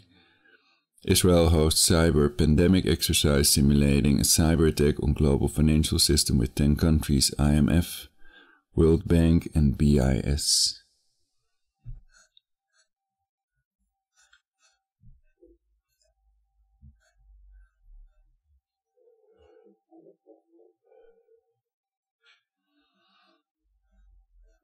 Dus ja, als ze die niet voorkomen, als ze de inlichting en veiligheidsdiensten die dat horen te doen, ons horen te beschermen en dienen, die cyberaanval niet voorkomen, wat heel makkelijk is. Natuurlijk luisteren ze nu ook mee. Dan zijn ze strafbaar. Culpabel heet dat. Dan moeten ze worden gearresteerd. Dan doen ze mee aan het uitroeien van het Nederlandse volk en het landverraad om een totalitaire, corporaat-fascistische nieuwe wereldorde op te leggen. En dat mag eigenlijk niet. Daar staat een maximumstraf op van levenslange gevangenisstraf. Oké, dus dat is artikel 97a, ook gecoverd door Gideon van Meijeren. Die heeft het ook duidelijk gemaakt dat het gaat om landverraad. Het zijn landverraders. Alle genocidale wefpolitici, Rutte, Kaag en zelfs de koning en alle andere mensen die daar meedoen. Omdat het gaat om een zich in het buitenland bevindend lichaam wat een omwenteling nastreeft, volgens professor Klaus Schwab een vierde industriële revolutie.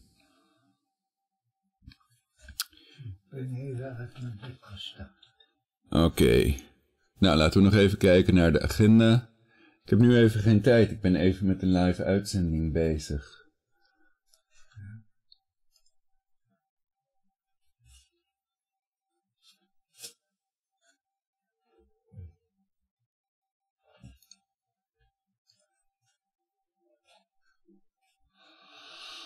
Ja, we kunnen nog even luisteren naar politie. Die hebben dus vier keer onrechtmatig mijn recht op aangifte geweigerd. Mijn recht op aangifte doen hebben ze illegaal, onrechtmatig geweigerd. En dat heb ik ook al in vorige uitzendingen duidelijk gemaakt. Dus ze gaan het echt doen. 17 miljoen Nederlanders uitroeien met die vier stappen die ik heb uitgelegd. En natuurlijk 7,5 miljard mensen wereldwijd voor duurzaamheid. En ze beweren dat meer dan 500 miljoen mensen op aarde niet duurzaam zijn. Terwijl 8 miljard mensen wel duurzaam zijn. Dus ze liegen dat ze barsten. En ze moeten gearresteerd worden in plaats van geapplaudiseerd. Um, ja, we kunnen nog wel even verder kijken. Te laten voelen, te bestraffen. Bij rellen met vuurwerk bijvoorbeeld, uh, als het dan uh, uh, zou voorkomen, dat we ook afgelopen weken hebben gezien. Ik vind het heel erg belangrijk dat relschoppers en daders die schade toebrengen, materieel, immaterieel, maakt mij niet uit uh, echt gestraft worden en de kosten daarvan moeten betalen. Ik bedoel, dat is volgens mij wat hier ook duidelijk de opdracht ook vanuit de Kamer is. Maar dat vind ik ook. En uh, indien mogelijk zal het Openbaar Ministerie ook snelrecht toepassen. Ook dus bij de situaties waar de heer over had.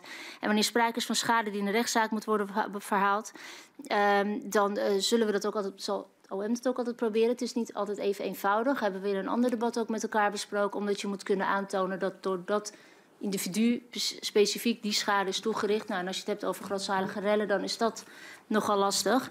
Dus dan heb je er ook vaak meer tijd voor nodig, wil je dat kunnen bewijzen. Dus meteen met snelrecht is dat dan bijvoorbeeld een ingewikkeld verhaal. Maar dat wil nog niet zeggen dat je betrokkenen niet op andere manieren met snelrecht kunt straffen. Um, ik zie een interruptie, dus dan is het misschien handig om die. Maar... Ja. Tja, ik ben tegen een vuurwerkverbod. Wat je kan doen is zeggen, nou, Siervuurwerk, wat geen knalgeluiden maakt, dat moet gewoon kunnen. Misschien het hele jaar door. En knalvuurwerk harder aanpakken. Ook zorgen dat het alleen op oud en nieuw wordt afgestoken. Of helemaal geen knalvuurwerk, dat gewoon helemaal verbieden. Um, dus huisdieren hebben daar vaak last van en mensen schrikken ervan. En demonen, bestaat, demonen bestaan niet, dus dan helpt het niet om dat te doen. Natuurlijk willen de mensen met de stralingswapens de illusie scheppen dat ze God zijn en demonen zijn om de wereldbevolking uit te roeien met illegale intercraniale boodschappen en het illegaal modificeren van hersengolven en mensen zelfs hacken, Yuval Noah Harari en anderen. En dat mag natuurlijk niet zonder het medeweten en de toestemming van die persoon. Zoals ze dat proberen, moeten ze ook op wat voor manier dan ook tegengehouden worden. De mensen die openlijk uitdragen om de aarde te ontvolken, moeten sowieso gearresteerd worden. Dat is aanzetten tot het plegen van genocide. Dat zijn criminelen. In de knel komen. Dat is altijd de eerste prioriteit van de politie. Dus uh, aan de ene kant, we leren daar ook van. Ook afgelopen zomer bijvoorbeeld met de protesten protesten zijn allemaal prima, maar toen je zag dat de snelwegen werden geblokkeerd door trekkers en dergelijke, nou, daar hebben we het daarna ook weer met de burgemeesters, lokaal gezag oh, en politie over. Hoe ga je dit een volgende keer nog vroeger kunnen voorkomen? Het mag nooit, een, even met mijn woorden, een soort verdienmodel worden. Dat is dan de manier om met van alles weg te komen. Um, en laat ik ook nog zeggen dat, en ik heb dat vaker herhaald, als je op dat moment niet aangepakt bent, wil niet zeggen dat je niet aan de hand van videobeelden, van ander bewijs, dat je niet van je bed gelicht kunt worden. Zonder straf wegkomen met uh, de politie belagen en andere mensen het onmogelijk maken en, en de, de lak te hebben aan de wet, is, mag nooit een optie zijn. En daar zetten we alles op alles. Dus als er momenten voorkomen waarvan we denken hier, hier is dat niet goed gegaan vanwege deescaleren moest voorgaan en het optreden was daarna lastig. Dan gaan we daarvan leren. Dan gaan we zorgen dat we een volgende keer daar voorbereid zijn en alle andere scenario's. De Knops. Voorzitter, dit antwoord stelt mij niet uh, tevreden, omdat uh, het is natuurlijk niet van gisteren dat dit soort evenementen of rellen voorkomen en dat de politie moet optreden. We weten dat al heel lang. En ik constateer gewoon, het is gewoon een feit, dat uh, degenen die anderhalf jaar geleden die grootschalige rellen hebben veroorzaakt, met grote vernielingen en gewonden en noem maar op, dat dan maar een fractie van die mensen überhaupt iets van schade betaald heeft. Dus de woorden van de minister zijn vooral intenties, maar in de praktijk zie ik helaas dat er nog heel weinig gebeurt. En mijn vraag blijft toch, wat gaat deze minister doen anders dan alleen maar de ambitie uitspreken dat het beter zou moeten, om dit gewoon concreet aan te pakken. En wat mij betreft is er heel veel bij geoorloofd, voorzitter, want zoals het nu gaat is gewoon niet meer acceptabel. Minister. Voorzitter, ik uh, dank de heer Knops nog voor die laatste toevoeging. Dus als we daar extra ruimte zien bovenop wat we al doen, dan zal ik ook zeker naar de Kamer terugkomen met, nou, hier zou ik die ruimte dan willen inzetten. Uh... Ja, in vorige uitzendingen heb ik het ook al uiteengezet waarom ik tegen het gebruik van civiele ongehoorzaamheid ben. De versprekingen worden gemaakt met stralingswapens. Ze hebben me geprobeerd te vermoorden met plasmawapens. Maar dat is even een ander verhaal. Um, dus zij maken die fouten, ik maak die fouten zelf niet. Ik oefen mijn spraak heel regelmatig. Um, dus het punt is geen relschoppen en geen illegale dingen doen. Onszelf niet verlagen tot hun niveau criminelen die met onrechtmatige maatregelen het Nederlands volk en de wereldbevolking uitproberen te roeien. Sommige mensen noemen het het kartel, FVD en zo.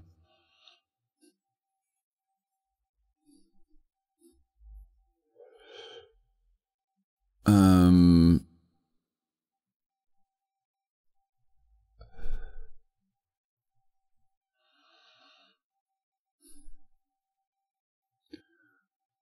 dus die genocidale politici arresteren, dat is het eerste wat ze moeten doen. De politie.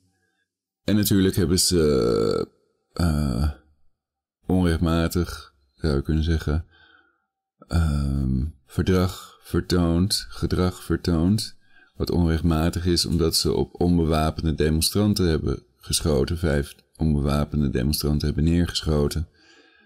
Eh, AD.nl heeft erover gerapporteerd. Dus ze misbruiken de macht, het machtsmonopolie. Maar ik wil nog even denken waarom um, civiele ongehoorzaamheid, waarom we daar niet aan mee moeten doen omdat dat wordt gebruikt om de rechten van mensen af te nemen. Dus die vreedzame demonstraties mogen ook niet geïnfiltreerd worden door Antifa en andere die schoppen en het in een, slag, een slagveld veranderen. Dus dat moet ook uh, wettelijk geregeld worden dat er maar één demonstratie tegelijkertijd mag zijn en dat tegendemonstraties onrechtmatig zijn op dezelfde plaats, op dezelfde tijd. Om schermutselingen te voorkomen is beter dan genezen. En uh, meer persoonsgerichte vorm van fouilleren. En dat zijn wij inderdaad op dit moment aan het bestuderen. En ik kom daar volgend jaar op terug. Uh, ik, nou, voor, voor komend zomer uh, moeten we dat wel naar de Kamer kunnen sturen. Uh, dan in het verlengde daarvan ook, mevrouw Helder, wat gaat er om te zorgen dat de politie preventief mag fouilleren op vuurwerk? Althans, zo heb ik het opgeschreven. Maar als het uh, op dit, binnen, binnen het huidige wettelijk kader is preventief fouilleren al mogelijk. Op het moment dat bijvoorbeeld geïmproviseerd vuurwerk uh, wordt ingezet onder bepaalde omstandigheden. Als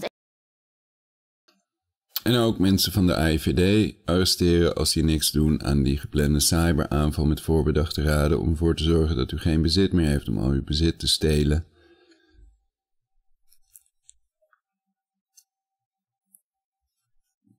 En natuurlijk de stroomvoorziening, computers, loskoppelen van het internet, droop speed control of zoiets in vorige uitzendingen. Daar is een bepaalde naam voor. Dus die computers die de stroomvoorziening verzorgen, die hoeven niet aan het internet te hangen, die kunnen gewoon losgekoppeld worden. We hebben die connectie niet nodig om stroom te kunnen hebben. Dus als die er nog steeds aan hangen, ja, dan zijn ze culpabel en dan gaan we ons ook niet laten deporteren en onze spulletjes niet laten stelen. En dan hebben we rechten als Nederlandse burger.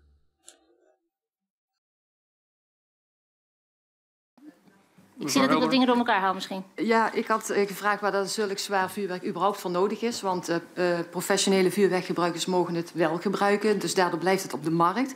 En in dat kader had ik dus ook gevraagd... wordt in de Europese werking ja. gesproken over verbod?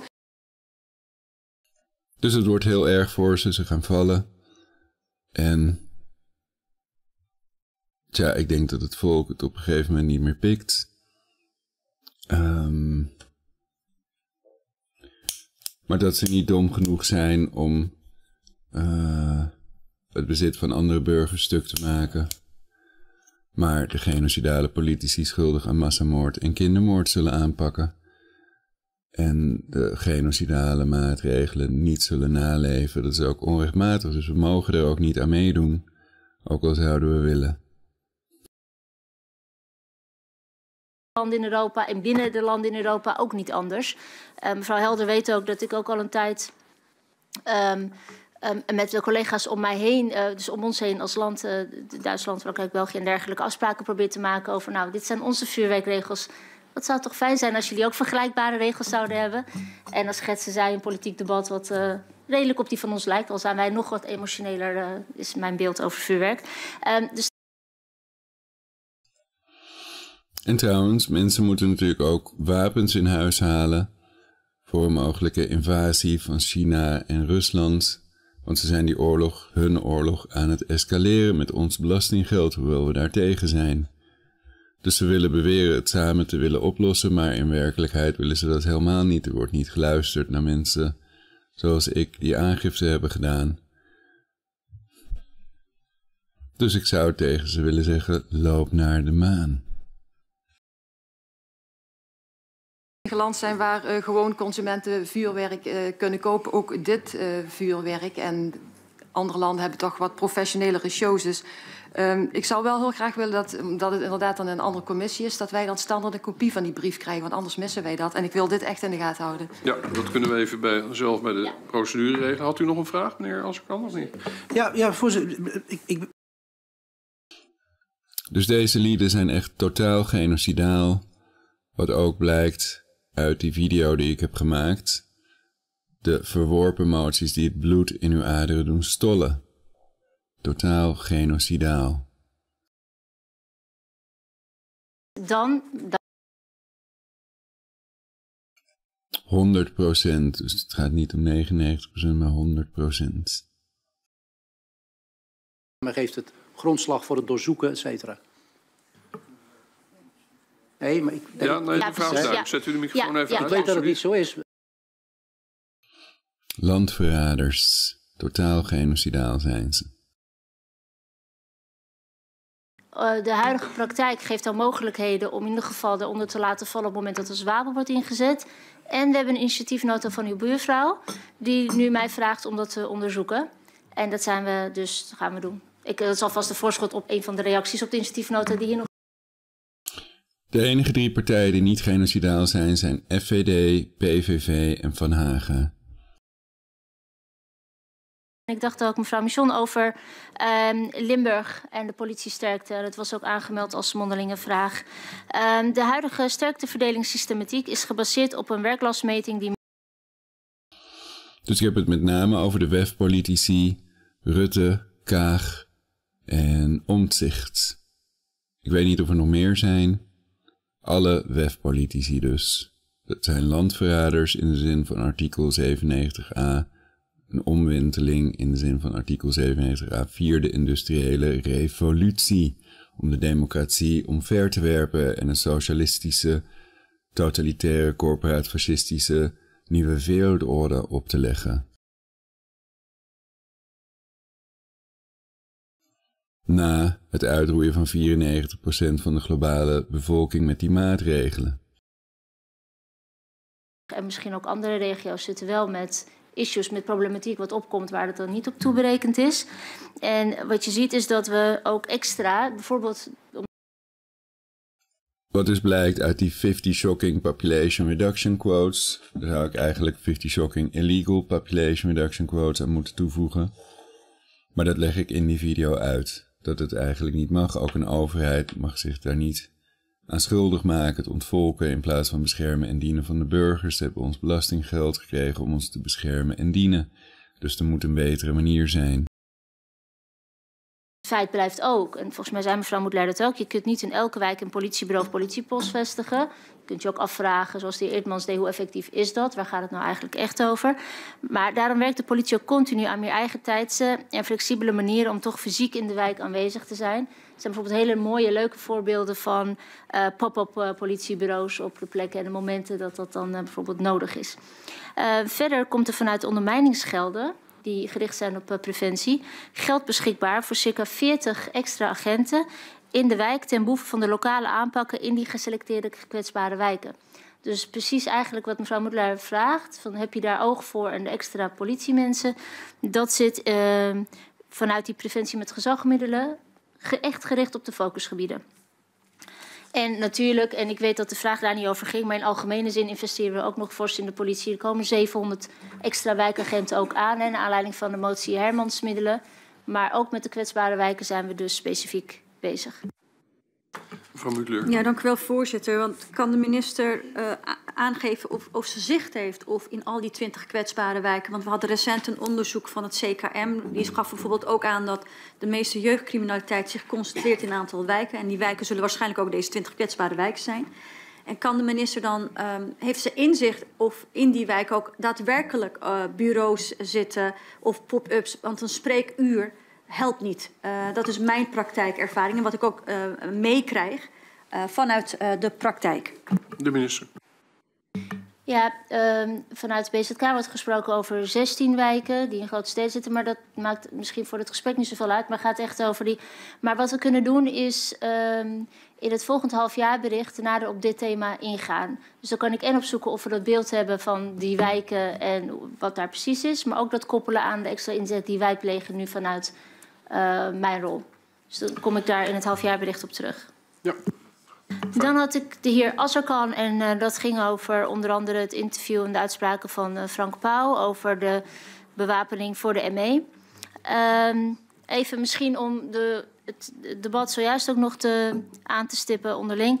Uh, ik heb geen aanvraag gekregen van de politie met betrekking tot aanvullende geweldsmiddelen voor de ME. Dat is dus nu op dit moment niet aan de orde. Er bestaat vooralsnog ook geen voornemen om extra die van die zogenaamde less than lethal uh, wapens toe te kennen aan de mobiele eenheid. Uh, en dat is ook in het halfjaarbericht uh, aan u gerapporteerd. Uit het onderzoek blijkt dat op dit moment nog geen noodzaak is tot invoering van nieuwe geweldsmiddelen bij de ME.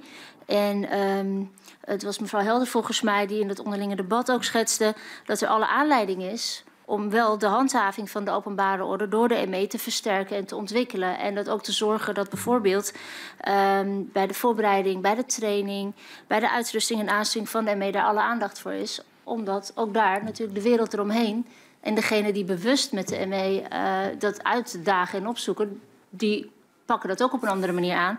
Dus je moet echt zorgen dat je daarop voorbereid bent. En de politie staat daarom volgend jaar met een paraatheidsprogramma.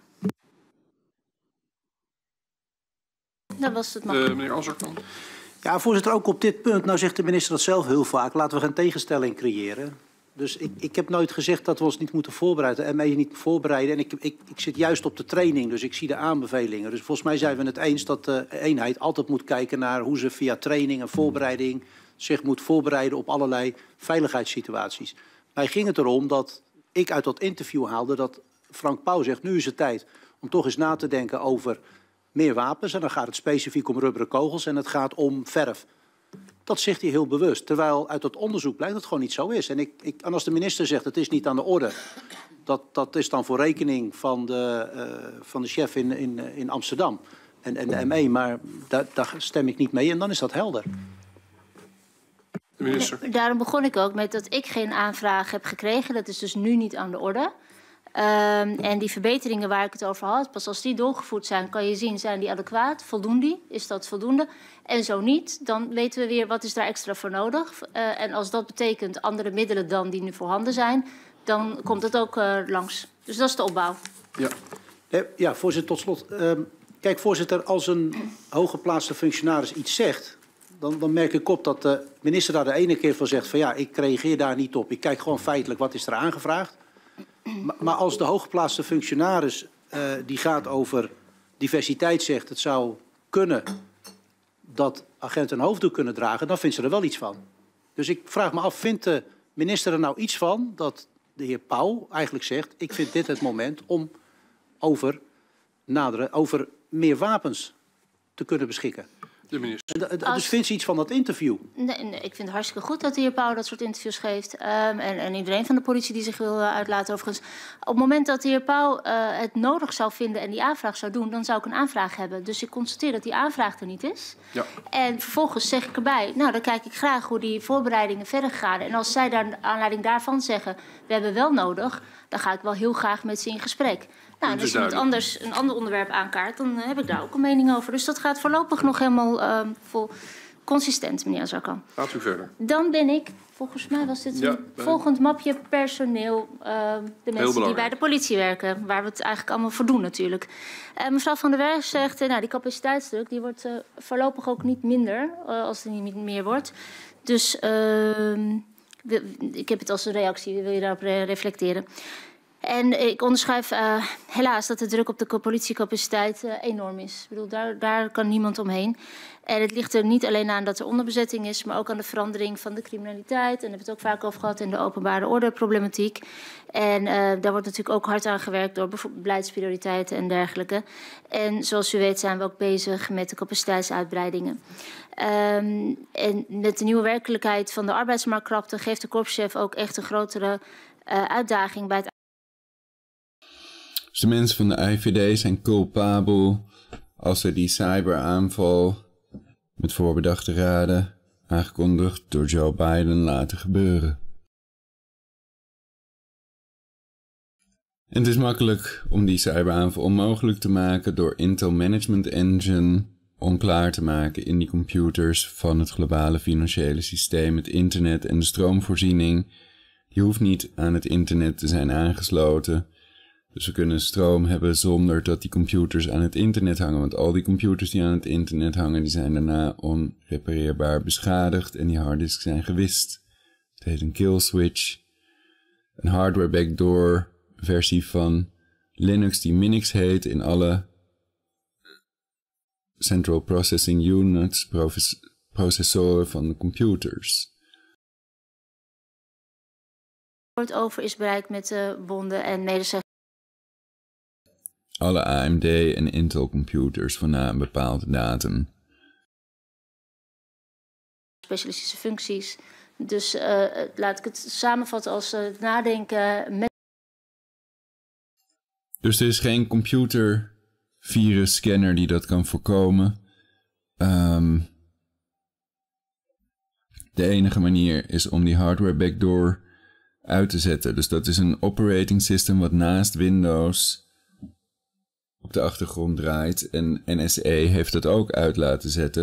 En er zijn ook computers die worden geleverd waarbij Intel Management Engine al uit is gezet, onklaar is gemaakt. Van System 76, Purism en Dell kan dat ook doen voor overheden. Dus het is veel goedkoper om die computers nu te vervangen desnoods. Als ze geen techneut hebben die dat uit kan zetten, die Intel ME, wat wel kan. Er zijn ook video's van op YouTube. Met een Raspberry Pi bijvoorbeeld. Ehm, dan kunnen ze die computers gewoon vervangen. Dat is veel goedkoper dan de schade die wordt veroorzaakt als we straks geen financieel systeem, internet en stroomvoorziening meer hebben. Dan wordt het onmogelijk om computers te kopen. Nou ja, mensen kunnen nog cash betalen. Dus dan moeten we sowieso niet de cash samenleving, contante samenleving, eh, die moeten we sowieso behouden daarna natuurlijk. Dan moeten we juist leren van die cyberaanval. Want er komt ook een zonnestorm EMP aan, ook volgens de NASA vrijmetselaars. En die zal gewoon al die computers beschadigen. En daarna is er dus geen cryptocurrency meer. Geen surveillance coin. Ehm,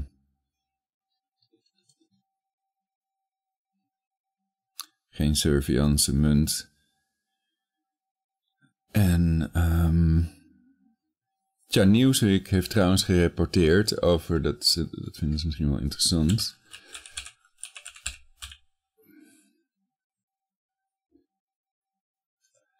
Crypto CEO's and founders sudden deaths.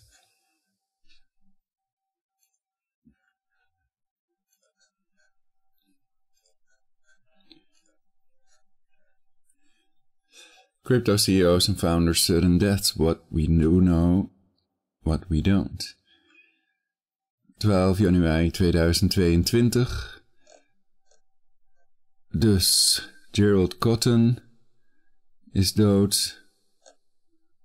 Controversial, among the most controversial deaths in the cryptocurrency industry. Gerald Jerry Cotton.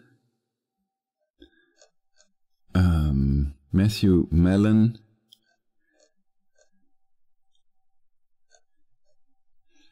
Nikolai Mushajian. Vyacheslav Taran, don't know if I'm pronouncing it correctly. Vyacheslav. Vyacheslav, perhaps. Um, en Tian Tian Colander. En daarnaast zien we natuurlijk het Bankman-Fried gebeuren. Is dat om die privacy coins helemaal kapot te maken, omdat ze een surveillance coin willen. De digi-euro, een cashloze samenleving die weg is naar een zonnestorm EMP, CBDC. Om ervoor te zorgen dat u daarna helemaal geen bezit meer heeft. Ook geen crypto. Om die wereldbevolking zoveel mogelijk te reduceren. En te doen alsof dat legaal is, dat mag natuurlijk niet. Het is van de gekken, ze moeten gewoon gearresteerd worden. En dat is dus de taak van de politie.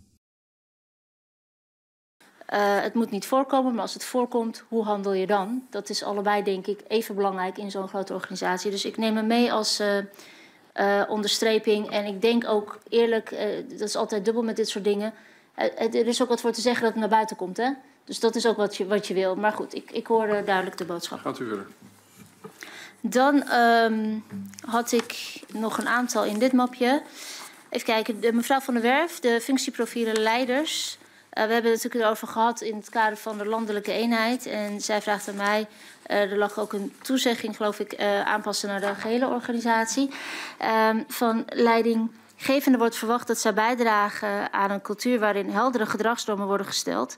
En waarin ook de medewerkers um, ondersteund worden en actief ook hulpbronnen krijgen om gewenst gedrag te bevorderen.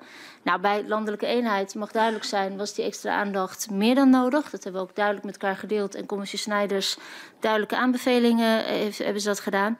Die moeten begin volgend jaar in het eerste kwartaal 2023 klaar zijn. En daarna zal zeker dus ook worden bekeken, conform uh, wat we ook met elkaar hebben afgesproken, of deze ook bruikbaar zijn voor de hele organisatie. En uh, daar kan ik u uh, um, zeker over berichten in het eerste halfjaarbericht van volgend jaar. Als alles volgens planning gaat, zoals we natuurlijk ook nu met de landelijke eenheid voorzien hebben.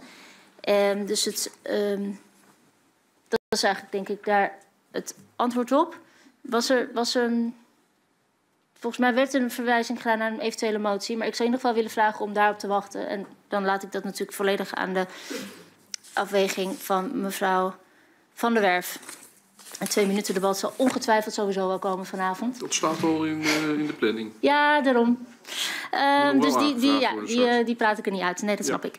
Dan had um, mevrouw Helder, die had het over um, de korpsstaf. Uh, ze zegt, die is naar verhouding best wel groot. Uh, en de prioriteiten worden niet gesteld, goed gesteld. hoe kunnen we daarmee omgaan of kan de minister daar wat van vinden? De zogeheten niet-operationele sterkte, waaronder de staf korpsleiding, uh, ondervalt, is inderdaad overbezet. Terwijl de operationele sterkte over het algemeen nog onderbezet is. En de niet-operationele sterkte bestaat echter wel natuurlijk meer uit dan alleen de staf van de korpsleiding. Een deel van de overbezetting is op dit moment noodzakelijk voor de sterk gestegen wervings-, opleidings- en begeleidingsvraag van nieuwe aspiranten en de zij-instromers. Daarnaast zijn er taken bijgekomen sinds de inrichting van de nationale politie. Daarom wordt de niet-operationele formatie uitgebreid, zoals te zien is in de begroting. Voor de overige overbezetting, dit kan je uitleggen, dat is ook een beweging die we met elkaar hebben gekozen. Voor de overige overbezetting hanteert de politie een daalpad dat in 2024 al bereikt moet worden.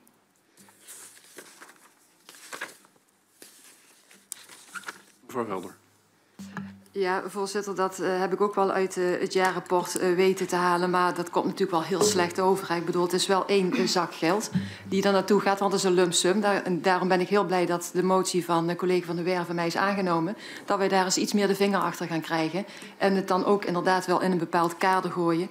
Want het kan niet zo zijn dat, ik, ik, begrijp prioriteiten stellen, maar topprioriteit, om een oud-minister te citeren, zou toch echt de opsporing moeten zijn. Ik kan daar echt niet bij. De minister. Nee, voorzitter, ik begrijp heel goed wat mevrouw Helder zegt. En die motie, dat is de begrotingsartikel 31. Die is ook aangenomen en daar heb ik, meen ik, in de halfjaarsbericht, in geval vorige week, dacht ik, één opmerking over gemaakt. Laat me nou kijken hoe we daarmee omgaan. Dus daar kom ik uh, op terug. Um, maar laat ik de inkleuring van mevrouw Helder daarbij gehoord hebben. Ja, mevrouw. Ja, voorzitter. En die inkleuring kan ik nog wel iets, iets strakker zetten. Want in het verleden uh, was ik daar inderdaad ook niet zo'n voorstander van. Omdat ik vond dat uh, de korpsleiding dat zelf moet doen. Maar uh, nu ben ik juist wel een voorstander van vaste frames. Want het kan niet zo zijn dat uh, een zak geld van de belastingbetaler... waar wij van vinden, althans mijn fractie, dat het nog wel wat meer mag zijn... dat er zo mee wordt omgegaan. Er moeten vaste kaders zijn dat daar niet meer meegeschoven kan worden. Ten behoeve van de operationele capaciteit. Ik heb geen vraag gehoord. Ik, maar ik zie wel een, ja, ja, maar ik zie wel een interruptie van mevrouw Leijten. En dan wil ik daarna even met u naar de orde van de vergadering. Mevrouw Leijten. Nou ja, voorzitter, nu het over capaciteit gaat, zou ik graag ook de vraag van uh, de heer Van Nispen van uh, een aantal weken geleden willen herhalen. Iets wat de minister zou uitzoeken. En dat is uh, de 50 miljoen die intern verschoven wordt en op de landelijke recherche bezuinigd wordt. Ja, dat is die. Dat is die. Dat, ik hoor dat is maar ik kijk toch maar even naar de minister voor het antwoord. Ja, dat, dat is uh, per brief ook uh, toegelicht. Dat is, uh, dat is dit. En volgens mij kom ik er ook nog ietsje langer zo meteen expliciet op. Maar dat is al in, gecommuniceerd. Wachten we dat nog even af. Maar ik kijk even naar de klok. Want het is nu half één. Om kwart voor één gaan we afscheid nemen. Althans, ja, dat, is, dat zou mooi zijn als we dat zouden kunnen doen van onze collega Van der Molen. Daarna zijn stemmingen. Mijn suggestie zou eigenlijk zijn dat we die minister nu haar beantwoording af laten maken tot kwart voor één. En dat we het twee minuten debat als de tweede termijn uh, beschouwen. Want anders gaan we het niet halen. Mevrouw Leijten. En dan zou ik uh, uh, één opmerking willen maken over iets wat de minister heeft gezegd over de motie die ze wel zou uitvoeren over de netwerkscan. Ze heeft gezegd, we wachten eerst de pilot af bij Binnenlandse Zaken en daarna ga ik kijken wat ik ga doen. Dat is wat de SP betreft niet de uitvoering van de motie. De netwerkscan is een ontwikkeld mechanisme. Maar dit is een, is, is een reactie op mijn punt van orde? Of, uh... Nee, dat zou ik graag eventjes maken. Dat, dat wilt u nog even gezegd hebben? Ja. Oké. Okay. Ik kan dat kan misschien een motie ook voorkomen. Ja, ja, oké. Okay. Ik geef Ik kan op reageren, want ik heb het al beantwoord toen mevrouw Leijten weg was. En uh, als ze een tijdje deze commissie gaat doen, dan kan ik er adviseren om goed op die halfjaarsberichten te letten. Want daar staat alles in. En daar staat ook in dat we dit gewoon gaan uitvoeren. En dat er op maat nu een weerbaarheidsscan wordt gemaakt voor de politie. Oké. Okay. Uh, maar ik kijk nog even of u kunt instemmen met mijn suggestie om zo meteen afscheid te kunnen nemen van Harry van der Molen.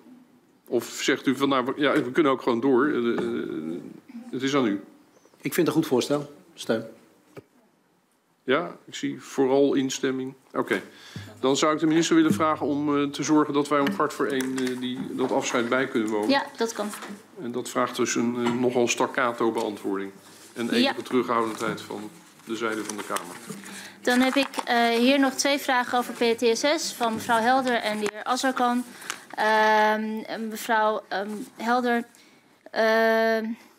laat ik zo zeggen, ik, het is ontzettend belangrijk voor mij en zo, dat zijn ook de afspraken die we hebben, dat politiemensen met PTSS uh, op basis van die interne richtlijn de zorg en begeleiding krijgen die zij verdienen. En dat de schade ruimhartig vergoed wordt. En dat zal ik ook blijven herhalen voor het geval dat er ooit ergens ruis zou kunnen ontstaan, uh, waar dan ook. Uh, in veruit de meeste gevallen wordt ook overeenstemming bereikt met betrokkenen. Dat is denk ik heel goed nieuws, heel fijn, want het biedt ook rust. En mevrouw Helder weet dat ik niet op individuele casuïstiek in kan gaan. Het is wel, mij wel bekend dat de politie in de afgehandelde casussen tot op heden conform de adviezen van de commissie de dossiers, uh, heeft, uh, in de dossiers heeft gehandeld.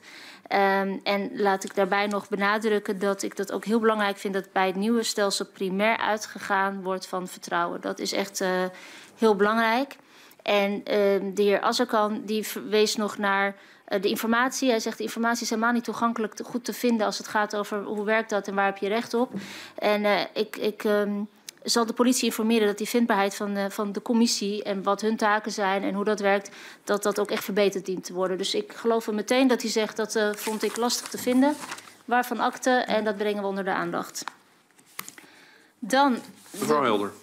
Ja, voorzitter, dat is net als hoe dat gaat bij, met de blauwe familie. Ik begrijp dat de minister niet op individuele casuïstiek in kan gaan, maar zo verdwijnen ze in het zwarte gat dat bestaat tussen de minister, de Kamer en de korpsleiding. En de korpsleiding, ik zeg het even heel plat, veeg gewoon haar reet met de motie van de Kamer af en wat de KARAP doet. Ik heb gewoon bewijs in twee zaken dat ze gewoon niet doen want ik word hier echt gewoon ook een keertje gefrustreerd van. Ze doen het gewoon niet. En ik heb er bewijs van en ik ken de hele rietel en ik weet dat de minister dat ook niet kan tackelen. Maar omdat we toch de tweede termijn, die straks ook helemaal vol zit, daarvoor moeten gebruiken, wil ik hier wel gezegd hebben. Ik ga me op iets beraden voor die PT6-dossiers, want we komen hier geen steek mee verder. Dan ga ik zelf wel helpen bij de rechtszaken. Helder. Ja, ik vergeef het u omdat u normaal altijd zo netjes spreekt. Dan mag u één keer zo'n lelijk woord gebruiken. Vooruit maar. Uh, mevrouw, mevrouw, meneer Azarkan, pardon. Ja, voorzitter, ik, ik zal die, hoewel ik ook de frustratie voel, maar goed, die had ik gisteren bij een ander debat ook. Dus ik, ik, ik het is, ja, het is, zoals ik al zei, het is uh, een soort uh, manier van ja, ja, ja. omgaan met teleurstellingen. Uh, de cursus omgaan nou ja, voorzitter, kan helaas niet doorgaan. Zeker. Ja, voorzitter, kijk, de minister, en ik weet het, we hebben een beetje haast, maar de minister doet het af als een riedel. Leest nogmaals, en dat is niet, maar leest hele mooie dingen op. Uh, maar ik, ik vraag me dan af, kijk, als we dit belangrijk vinden, en de minister zegt, ik vind dit heel belangrijk en u hoeft mij er elke keer op aanspreken. Hoe kan het dan dat als je, dit nou, dat als je dan een voorstel krijgt, dat er niet wordt verwezen naar die commissie advies, restschade, afwikkeling, politie. Dus waarom krijgen, agenten hebben daar recht op. Waarom krijg je dat niet gewoon standaard te horen? Dat is één. En twee is, waarom kunnen ze het ook niet opzoeken? Want als je het op internet zoekt, krijg je nul hits. Ik heb daar gewoon een screenshot van. De minister. Dus hoe verhoudt zich dat nou met dat de minister zegt... ik, wil daar, ik vind dat heel belangrijk en ik wil er iets mee? De minister. Ja, kijk, voorzitter, ik, uh, en mevrouw Helder, vanaf het begin hebben wij het hier samen over... dus die weet dat van mij. Ik wil niet, al gaat het over één zaak waar men er samen niet uitkomt... ik kan niet ingaan op die individuele zaken... maar ik vind dat wel echt oprecht zo vervelend... omdat het over zulke heftige dingen gaat dat ik uh, elke keer voor uh, waak door niet te zeggen. Maar 99% is wel tevreden. Want ik wil dat iedereen. Uh, tevreden is ook niet eens een correct woord hier, maar kan gewoon met rust doorgaan. Um, maar dat wil ik wel richting die azerkant. Het is niet zo dat dit gewoon iets is wat helemaal niet loopt. Veruit de meeste betrokkenen zijn uh, er samen uitgekomen en die zijn verder. Uh, en, maar, en ik begrijp de frustratie als het gaat over specifieke zaken die nu doorgaan, uh, vooral voor de betrokkenen zelf. En ik heb richting de ASAC al gezegd, die, informatie, die richtlijnen en dergelijke zijn openbaar toegankelijk. Maar ik vind het gewoon een legitiem punt als die ASAC kan zeggen dat moet nog makkelijker en dat pak ik op. Ja. ja dat is de verre schets van, van zaken. Daar gaan we het mee moeten doen vandaag. Mevrouw Moedler had over de veiligheidsagenda. Ik ben naar het uh, volgende mapje.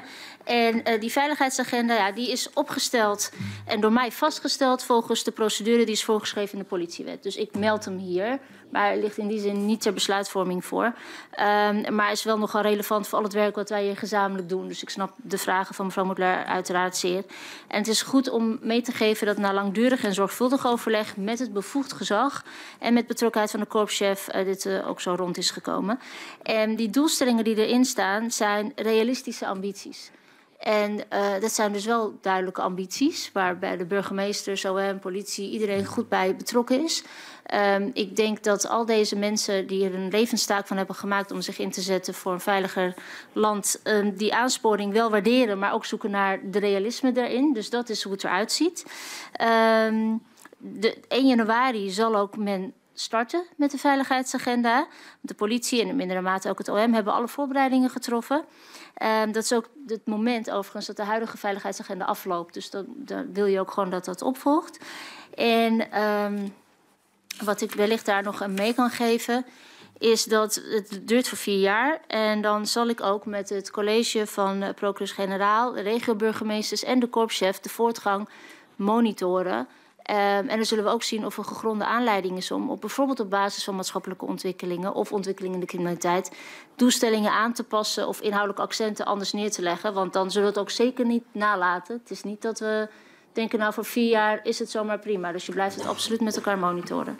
Mevrouw Michon, korte vraag. Ja, voorzitter, uh, precies dit laatste punt van de minister. Want we hebben ook wetgeving waardoor ik denk, bijvoorbeeld die non-conviction-based confiscation, bijvoorbeeld die ATKM die we gisteren in, uh, in ieder geval op terrorisme in het leven hebben geroepen. Dus daardoor zou het ook kunnen dat die doelstelling omhoog gaat. Dus is er een mogelijkheid, daar zit ik naar te zoeken, dat we dat tussentijds zouden kunnen aanscherpen? Staat de minister en met haar het hele overlegcircus daarvoor open? Minister. Ja, want als het gaat bijvoorbeeld over afpakken en dergelijke, hebben we al met elkaar gezegd, als er nieuwe wetten komen, dan gaan we ook steeds kijken waar het scherper kan. Um, en we gaan het ook met elkaar monitoren. Dus uh, ik ga wel even op zoek naar een manier om dat te kunnen doen. Wat, waar, misschien ook mevrouw Moedler naar, naar wat mevrouw Michon Derksen zegt. Niet alleen monitoren, maar ook een plek om het aan te scherpen als we met z'n allen vinden. En ook de, natuurlijk hè, de regioburgemeesters, OM en politie. Kunnen we waarmaken, dan moet je altijd... Uh, um, hoger zetten. Um, dus ik ga even over nadenken uh, hoe we dat ja. het beste kunnen laten landen. Mevrouw Mutler nog op dit punt. Ja, voorzitter. Want uh, mijn opmerking heeft enerzijds te maken met hoe wij als Kamer uh, hierbij betrokken worden als die doelstellingen worden bereikt. Ik, ben gewoon, ik wil gewoon daar een Kamerbrief over ontvangen voordat de minister überhaupt die onderhandelingen start. Dus daar wil ik gewoon een toezegging op. En het duurt misschien nog een aantal jaren. En het tweede is, ik wil ook als Kamerlid uh, kunnen uh, um, uh, sturen tussentijds. Dus ik overweeg daar een motie over. Ik vraag hierbij alvast een twee minuten debat aan. Dat geldt overigens ook voor de blauwe familie. Dan weet de minister dat ook.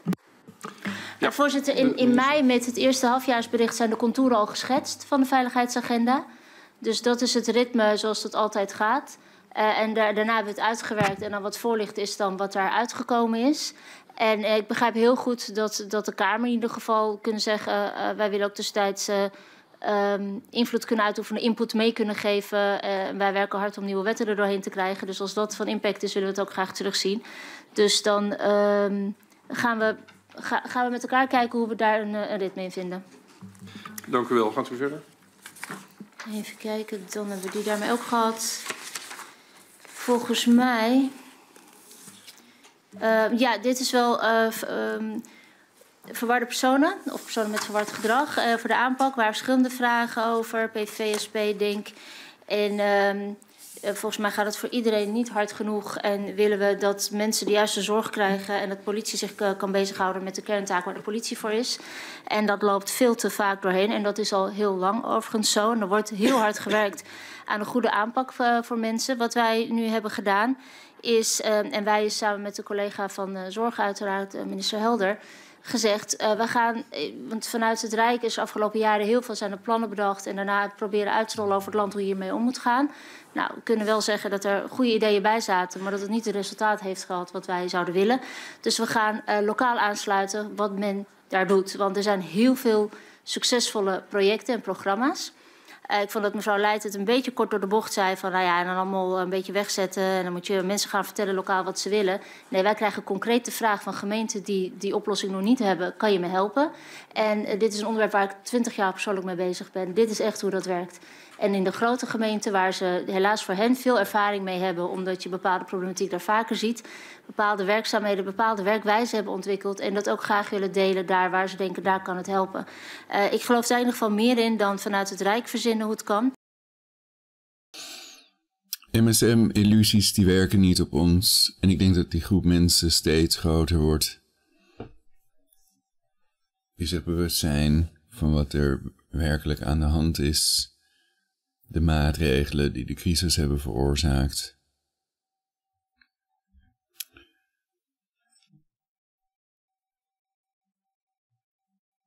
En ja, ik hoop dat die cyberaanval voorkomen wordt en dat we een uh, warme zomer tegemoet gaan. Maar het is goed om voorbereid te zijn met natuurlijk aardgas, uh, bioethanol, brander of een andere vorm van verwarming. Want er is ook geen thermostaat meer na die cyberaanval. Als de stroomvoorziening weg is, dan is de thermostaat dus ook weg. En het geld uh, van die rekening af te halen, behalve geld om de rekeningen te betalen. Omdat de banken straks ook weg zijn, die servers zijn allemaal weg. En dingen op, uh, op je kankermobieltje te backuppen. En te zorgen dat die niet aan het internet hangt via een draadloze verbinding. En uh, ja, daarna alles confisceren en zo, dat mag de overheid helemaal niet doen. Want het wordt met voorbedachte raden gedaan. Dus vandaar dat ze medeplichtig zijn aan de massamoord, landverraad. Met die maatregelen en die cyberaanval aangekondigd door Joe Biden. Acht maanden terug al. Na nog stemmen. U, nou, een flinke tijd. Dus uh, dit was het. Hartelijk dank uh, aan de minister en haar ambtenaar, de leden, u op de publieke tribune en elders die het debat gevolgd hebben. In het bijzonder de moeder van mevrouw Helder. In principe heb ik het dan in eerste plaats over de AIVD, de mensen die dit horen te voorkomen, onmogelijk horen te maken, het volk horen te beschermen en dienen. Uh, en wat betreft die maatregelen, de genocidale WEF-politici. Um, tja, en ook wat betreft uh, andere maatregelen, al die partijen die niet FVD, PVV en Van Haga zijn dus. Tijd. Ons allemaal. Daarmee. Ik sluit de vergadering. Dus ik heb de FBI daarover geschreven, ook een video van gemaakt op mijn kanaal, maar ook Thierry Baudet van FVD, en die heeft er nog steeds niks van gezegd. dus gewoon die Intel Management Engine uitzetten, het is heel makkelijk te doen. En anders gaat uh, Nederland eraan kapot, wat ook is wat sommige mensen nastreven, een vierde industriële revolutie. Um, nou, mijn vader wil met mij spreken. Een momentje, dan rond ik even de uitzending af. Dus hopelijk krijgen we in 2024 DeSantis for President 2024. Um, so if they can prevent the cyber attack, then I can vote for DeSantis. I will definitely vo not vote for Biden and uh, Trump, the Knights of Malta. And probably I'll vote for DeSantis, I agree.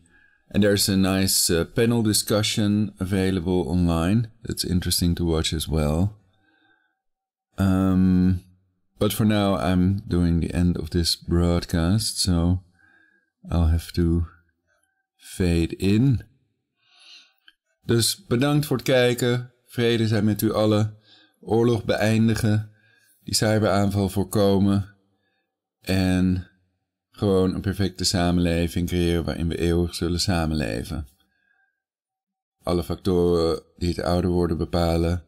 Onder controle krijgen. Achieving negligible senescence. En um, meer over dit alles, hoe het kunt overleven en voorkomen. Ook in vorige uitzendingen. Ook op uh, Perfect Society op YouTube. Single dames die het leuk zouden vinden. In vorige uitzendingen heb ik meer belangrijke informatie, dus check die hier op YouTube op play en graag liken, subscriben en verspreiden de belangrijkste video's en informatie. Ik heb meer kijkers nodig voor meer invloed op deze tijdlijn. Om het Nederlandse volk en de wereldbevolking te redden van de mensen die openlijk uitdragen om deze uit te roeien. Tot de volgende keer op Play kunnen we altijd skypen. Ik ben Ulrich Hofman, Skype Prologic 999. Over en sluiten.